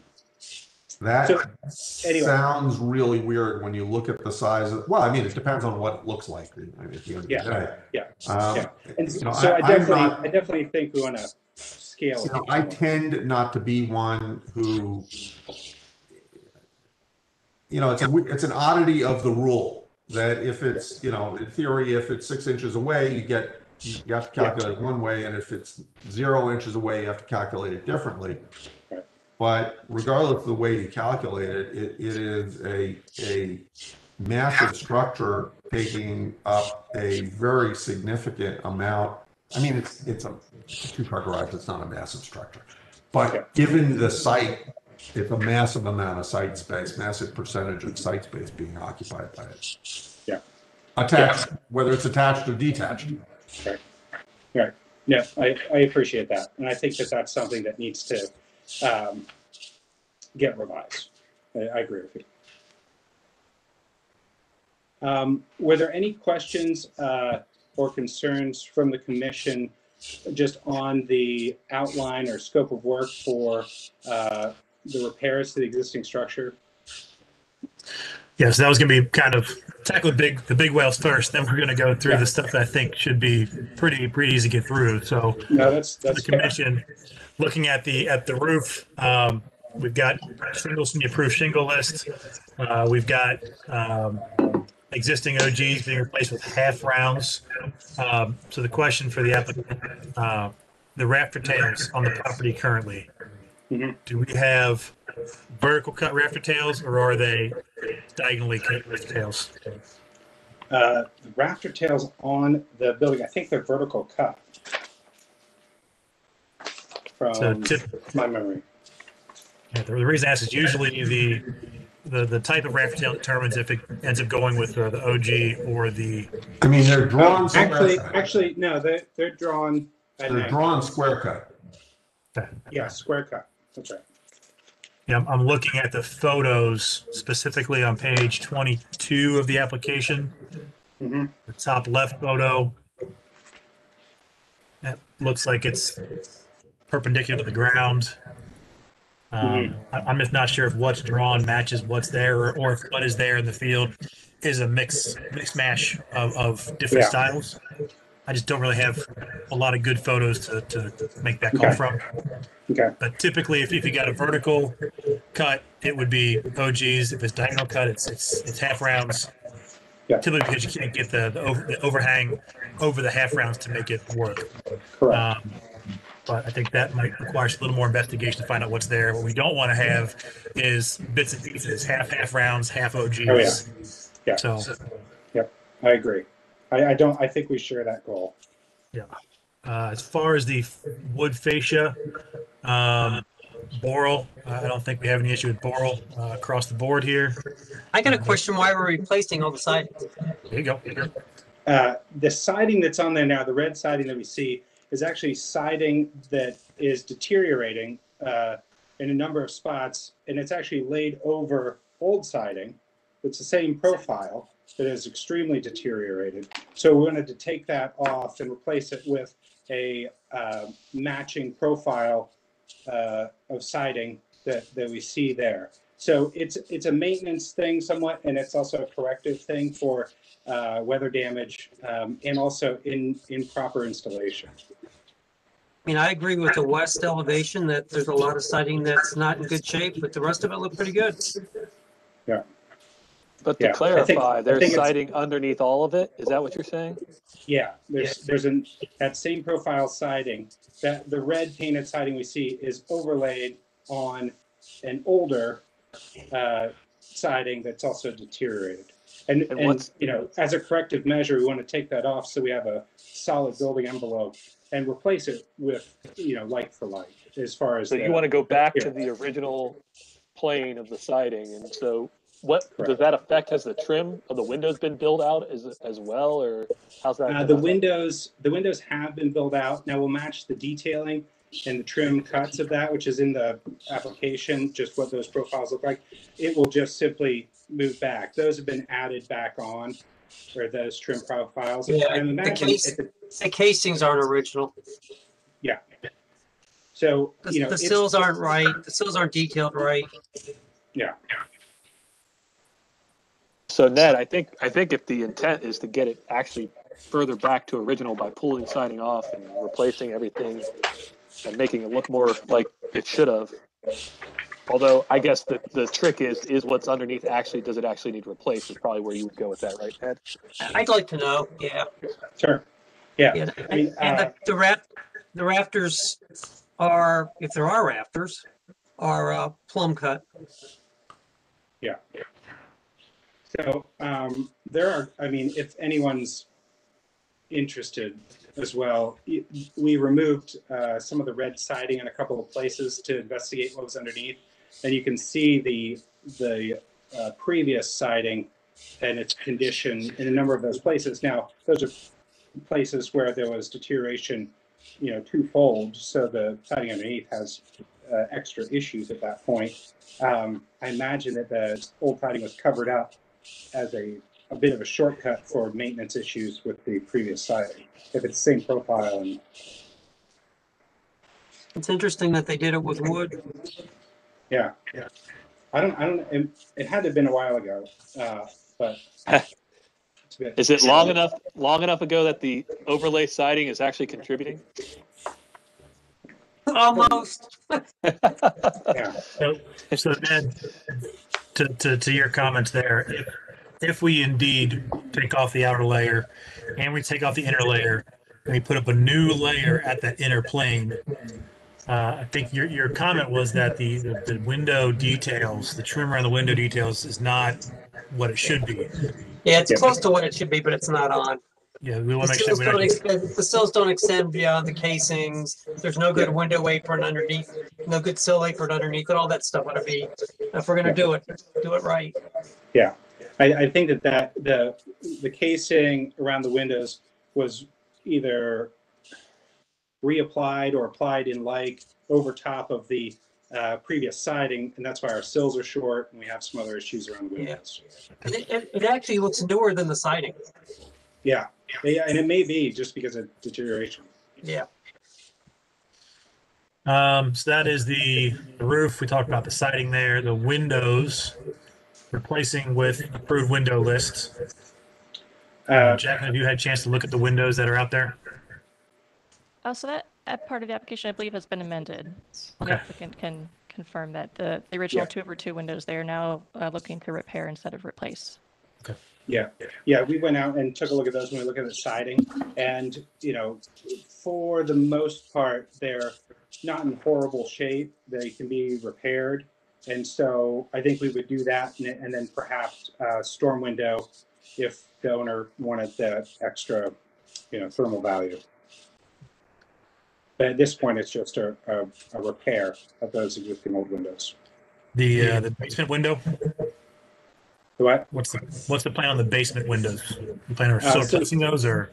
Yes, and so Jacqueline uh, sent us an approved basement window, which is the uh, Marvin Infinity uh, model that we would use uh, for those locations where it's boarded up uh, along at least Cedar Alley uh, with the two windows along there. Okay, That might be And uh, we had one on there that was for for basement window use only. So I just want to make sure that got that got to you. That, that's the one. I got this one. Yep. As the approved window list. Certainly use that and then uh, match the mullion profile on the house, which is, I think is a five eighths. And then the next item on there was the non-historic transoms. Do you intend to still replace the transoms, or you tend to leave what's there, or? Yeah, the doors and transoms, we were gonna switch out uh, for new from uh, the approved door list, the door style list. Those would be solid wood doors and fixed wood transoms. I think the, the overall goal that we have, and these are good questions too, is just to, you know, repair the building, uh, you know, fix the problems that are there, but keep the existing or historical aesthetic and detailing throughout on that structure and, and maybe um, uh, fix some of the things that were done to it over the years uh, to bring it back closer to what it may have been before um, it got fixed. It's, a- it's a nice building and it's unique in the fact that it's a, uh, three-family originally. Yeah, yeah. Um,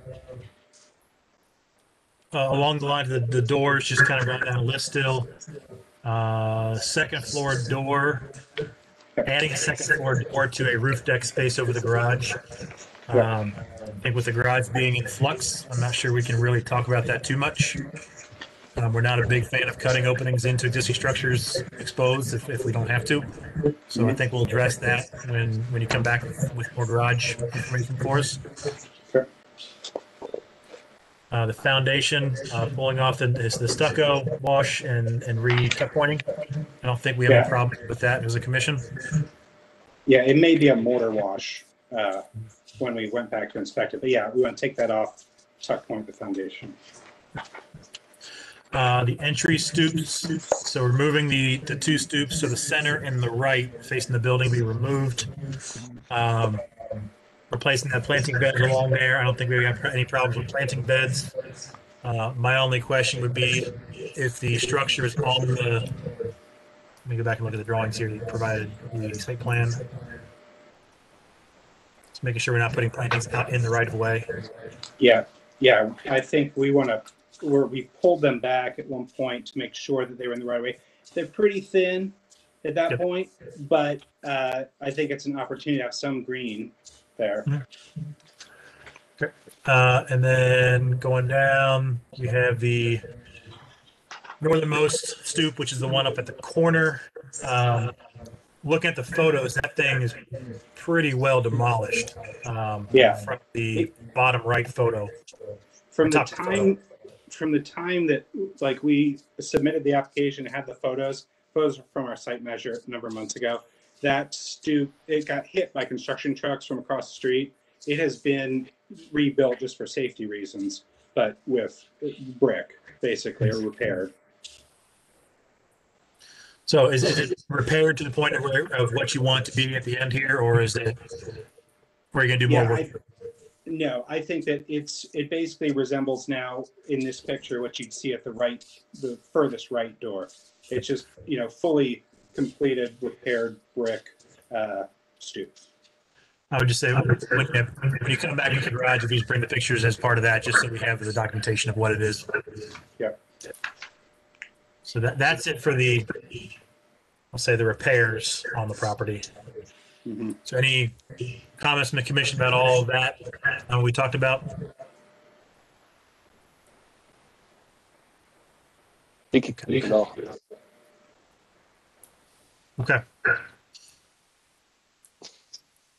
And then as, as far as the, so we talked about a couple of those uh, variances, um, just for the applicant's knowledge. Uh, Typically, we, we as a commission like identifying which variances are kind of existing conditions. So they're going to be there regardless of whatever you do with the property. Um, As opposed to ones that you're causing by, by the new work. Um, So we'll, we'll go through those. Okay. Yes, at that point in time, when the, when you come back with the garage information, we'll sort through all that. Okay. We'll need light fixtures too. Yes, on the exterior next to, now, uh, we'll leave out by the exterior doors that are used.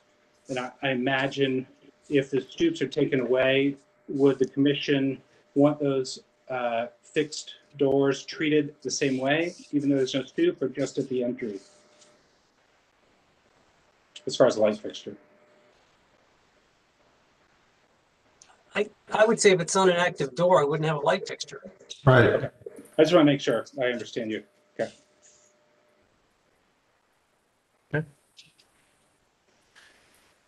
Any other questions or information, Mr. Sampson?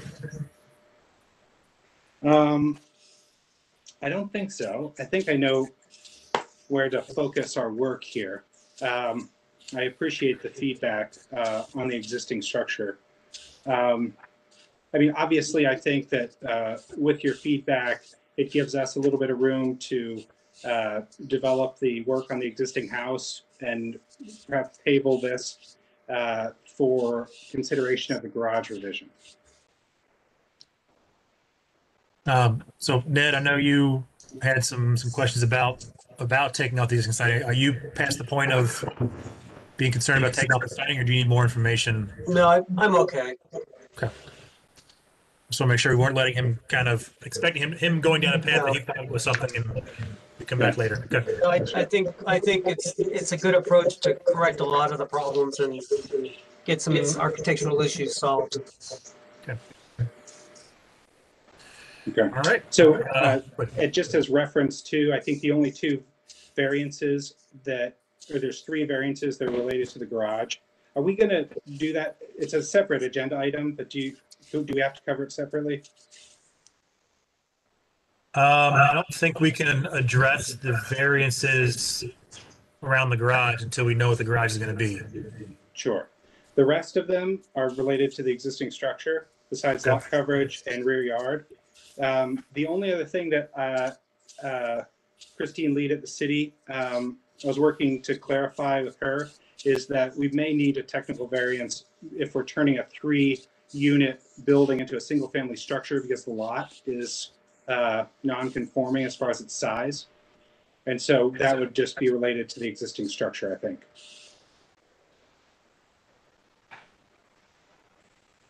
The six thousand square foot minimum for R two F on lot size, and we're at thirty-four hundred. Gotcha. No, okay, yeah. And, and honestly, you're going from three units into, into one and R2F, I believe, is two units typically. So we're, Correct. you're kind of trading a one for one. So I, I don't think you'd have any pushback from us on that. Okay. Do, you- do you need us to vote on any, on any of these variances or do you want to tackle them all at one time?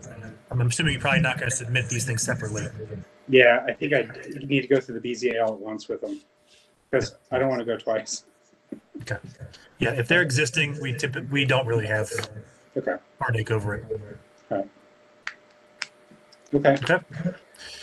If that's the case and there's nothing else, uh, is there a motion to continue uh, to next time? I so move. Second. Any questions on the motion? If there are no objections?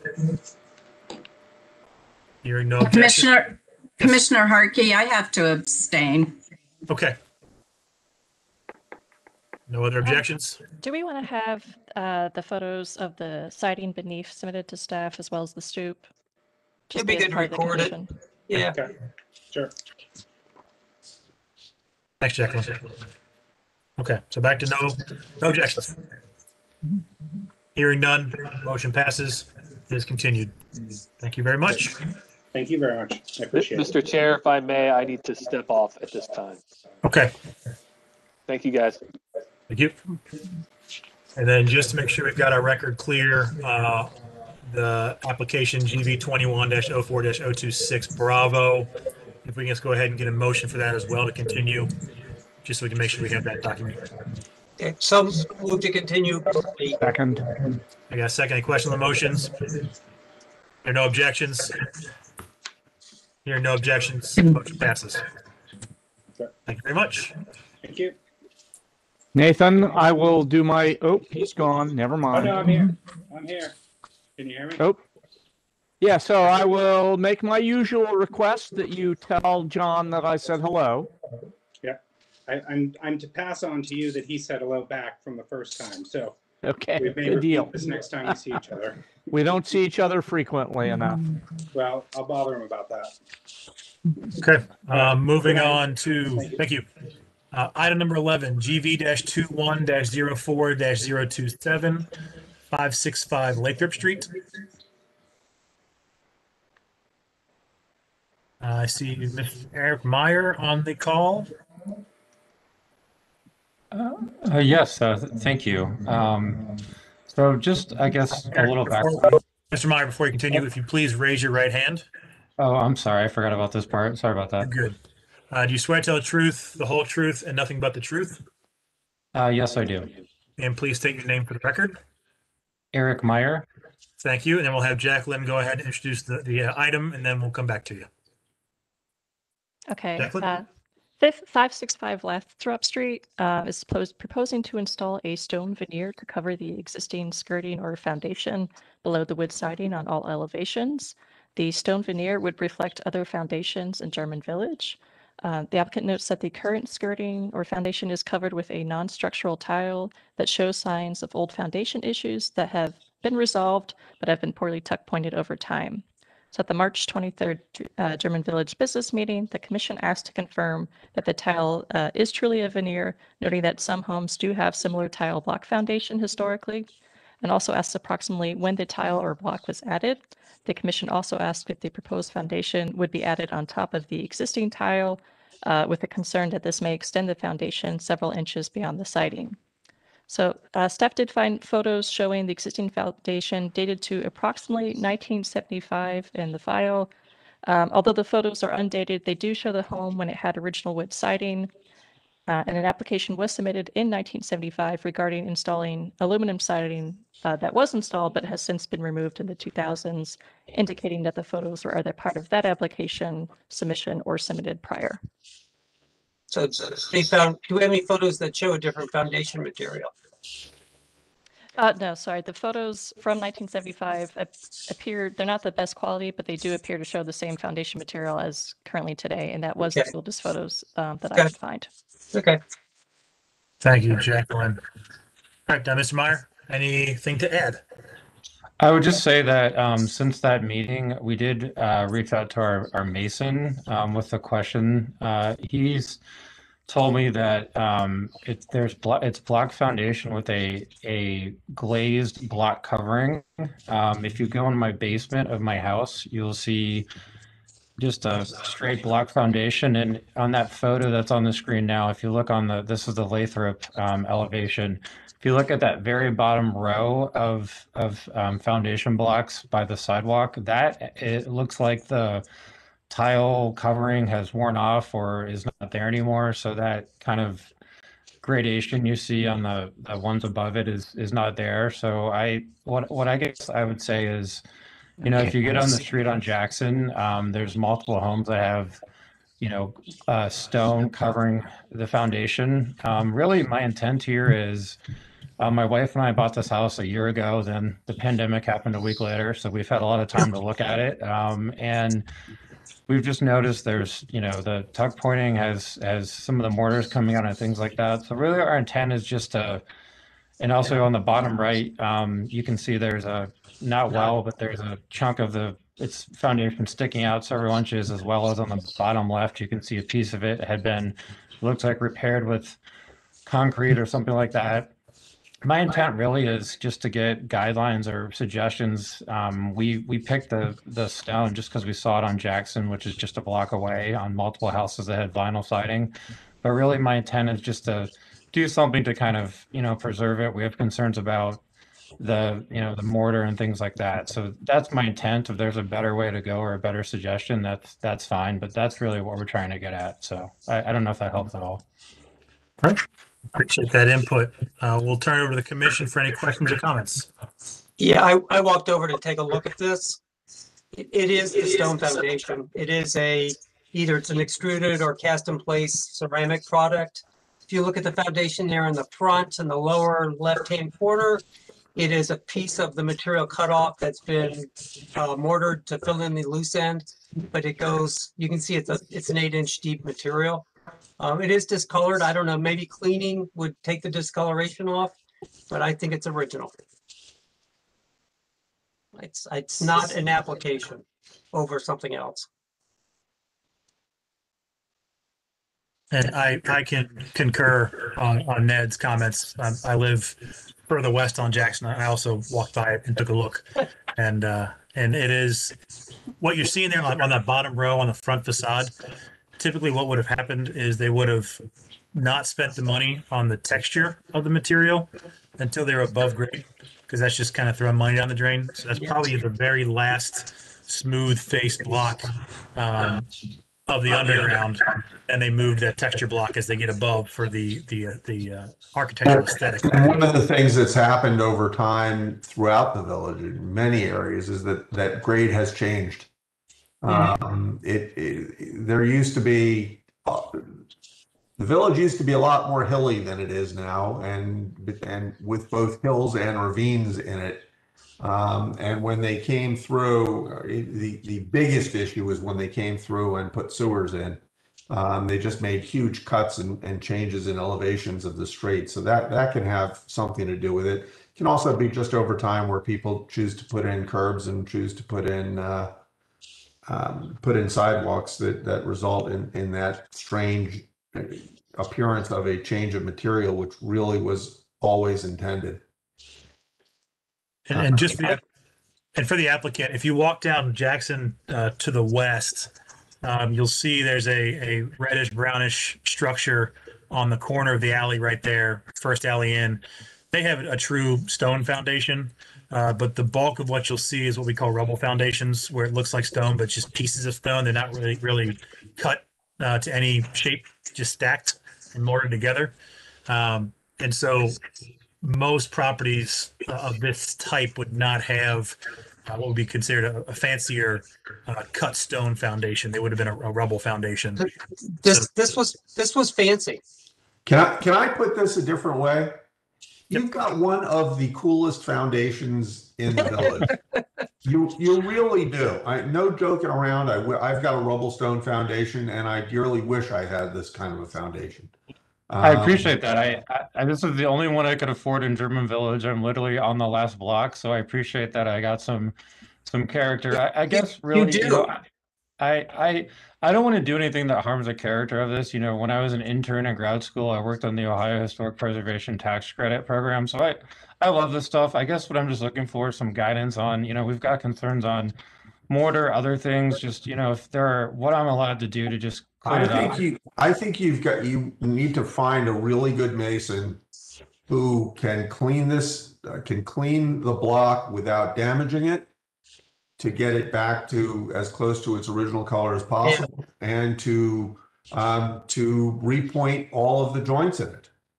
Um, and I think you'll wind up with, as I say, I think you'll just wind up with a killer foundation. I mean, I, I think that this.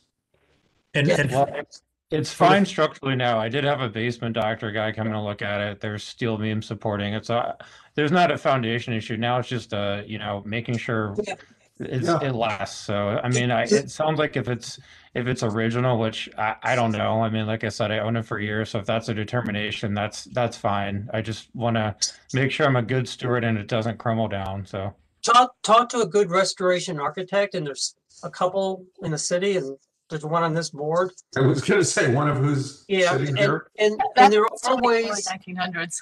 Yeah, there are ways of correcting the discoloration. You can get it back to one color.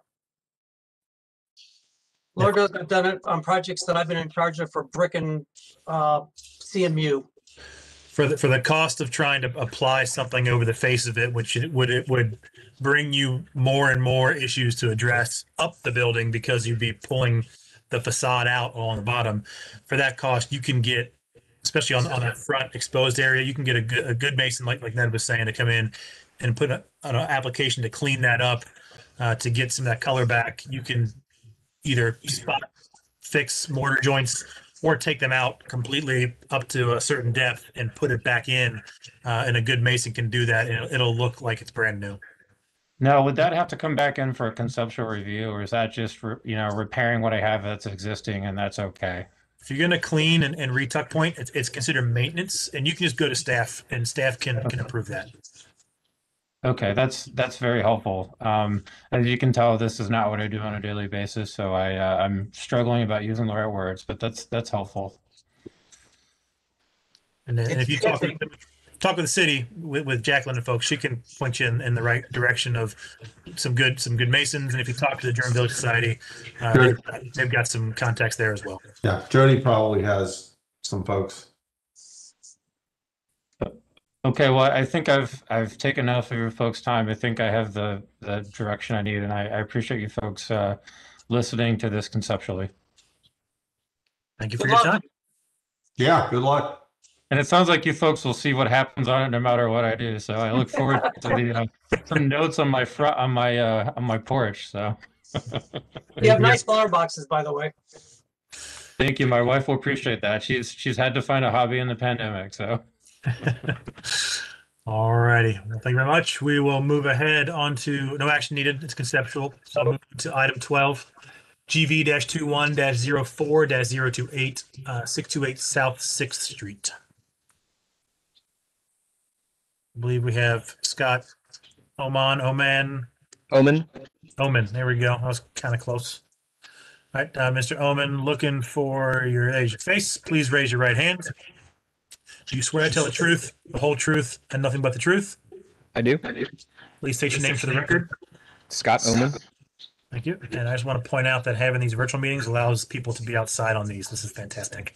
All right, Jacqueline, go ahead. Okay, this is another conceptual application. Um, the owner was wondering if it was uh, at all feasible to install a new patio, uh, which would be approximately nine by nine feet adjacent to the north of the front door, walkway, or step. Uh, the patio materials would be concrete slabbed, topped with the same stone used on the existing steps, which is Indiana limestone for the horizontal surface or surface, and Indiana limestone veneer for the side or front patio.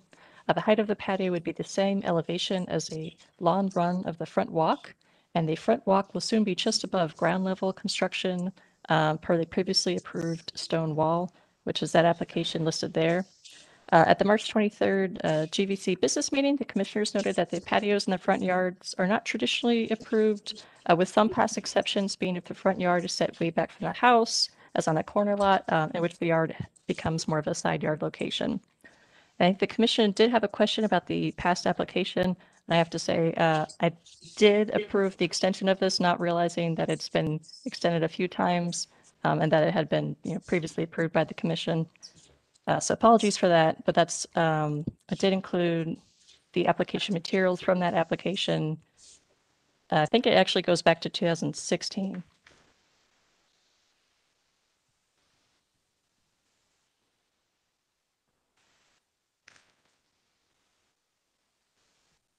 Is that all you had, Jacqueline, or is there more? Yeah. Okay. Oh, no, that's it. Yeah, Just sorry. ended kind of vaguely there. All right, Mr. Omen, anything to add? Uh, yeah. So um, essentially, um, I'll just explain the purpose of what we're trying to do. Uh, we're just essentially trying to figure out the the most appropriate way to add a little seating area. Um, basically, so in the photo that's on the screen right now, oh, sorry, um, the photo that's on the screen right now, there's a window right there. Uh, just kind of looking to add like a tiny cafe table and a couple chairs out front, um, just for better interaction with the neighborhood. Um, so uh, we're not married to any of the materials that are there, um, especially with it being like on a concrete base or anything like that. I, I think a lot of, from what I have read since we submitted the application, it sounds like a lot of things um, need to be more in the uh, permeable brick sort of construction. So um, the materials that we initially put out there, that's just that the only reason we included those was just to match the steps that we already have. So. And we're not, we're also not married to the size that's out there either, so. The nine by nine. All right. All right, on to the commission. Questions, comments from the commission?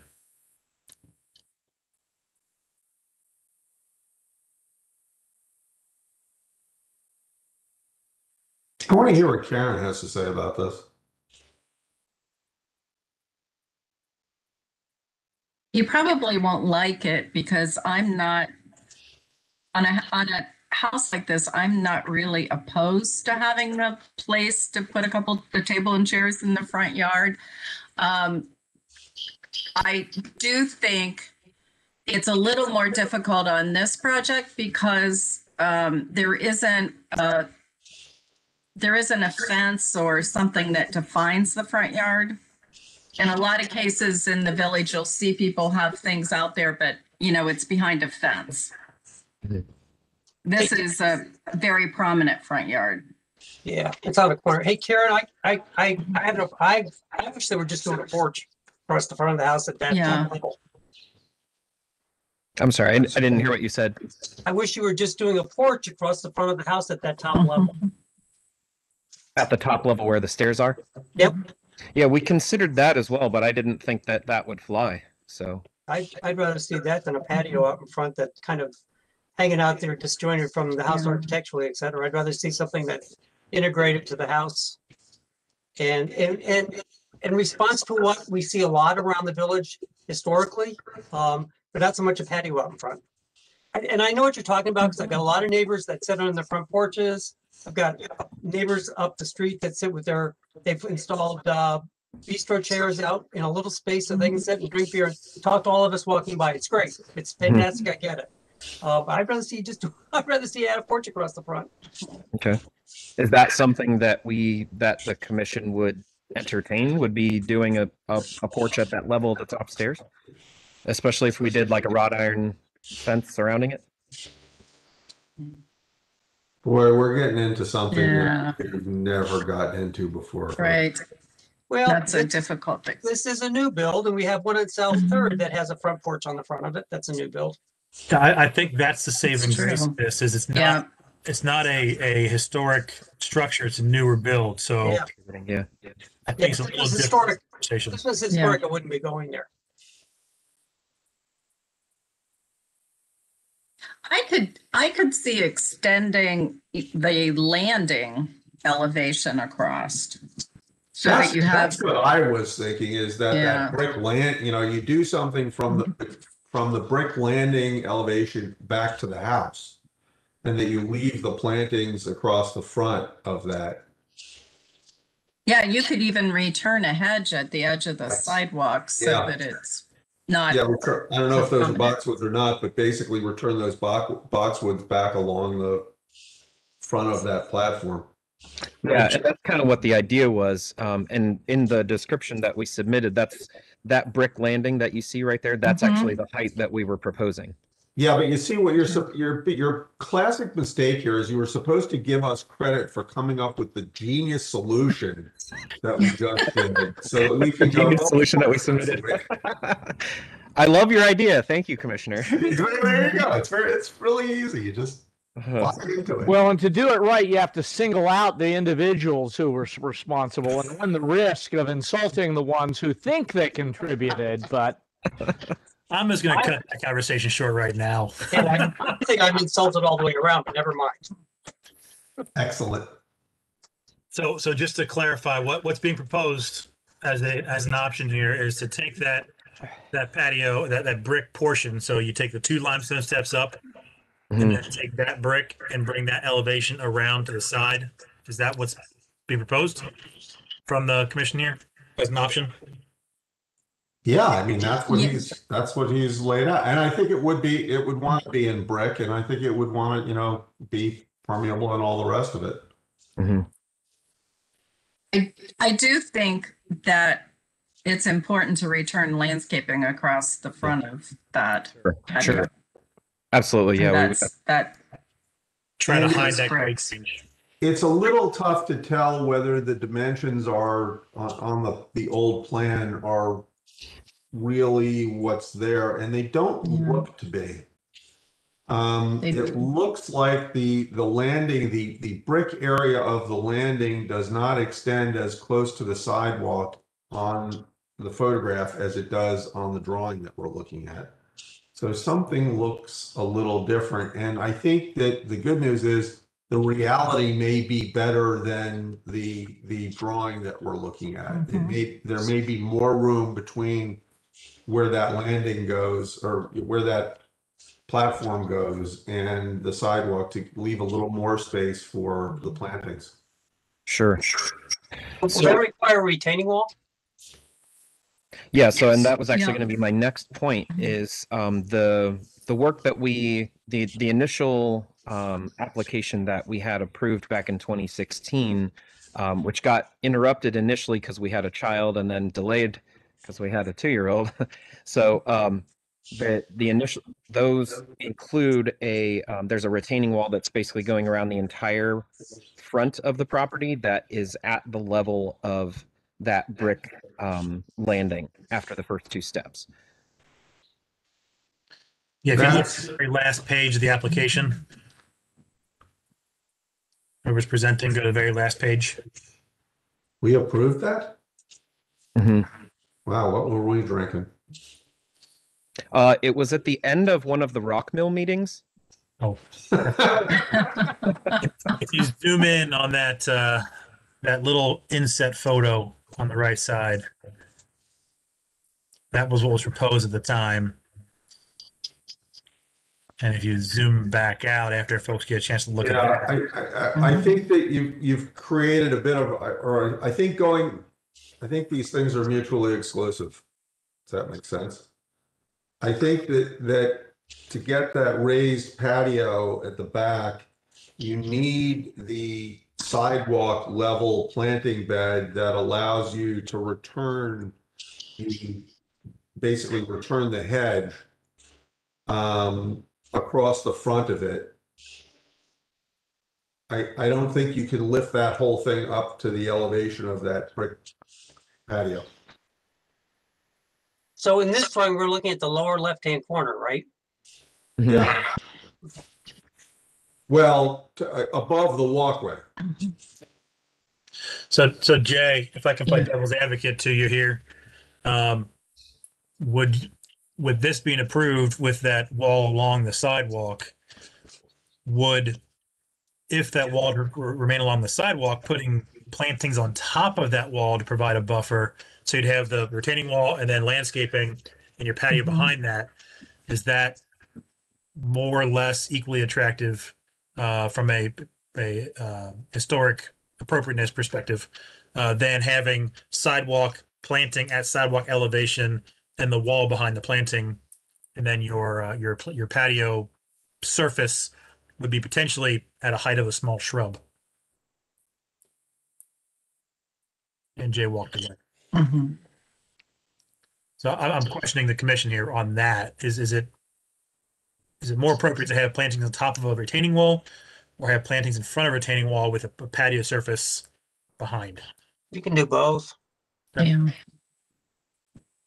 I think either, I agree with Ned. I think either one. I think the key is getting that patio surface tucked back close to the house with landscape in front of it. Sure, and that that's definitely something we want to do because in the plan um, that we the plans that we already have drawn up that are approved, um, the idea being that there's going to be basically boxwood hedges around both the sidewalk side of that wall and then also um, even behind that. So like between Mhm. between right in front of where this proposed patio surface would be, we would definitely have that same that same boxwood kind of like encasing the entire area.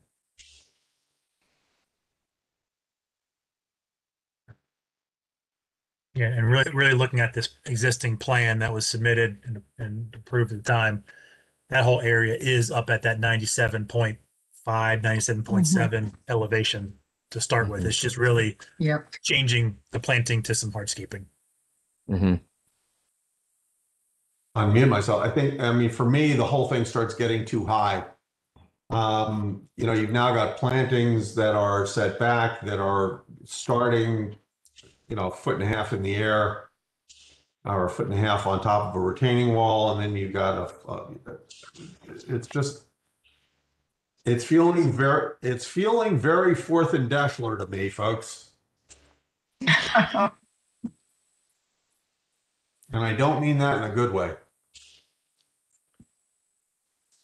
There's, there's a lot, I- I, I mean, retaining walls are something that, that, and, and I, I don't recall this, and yeah, it could have been at the end of a rock Rockville meeting, who knows?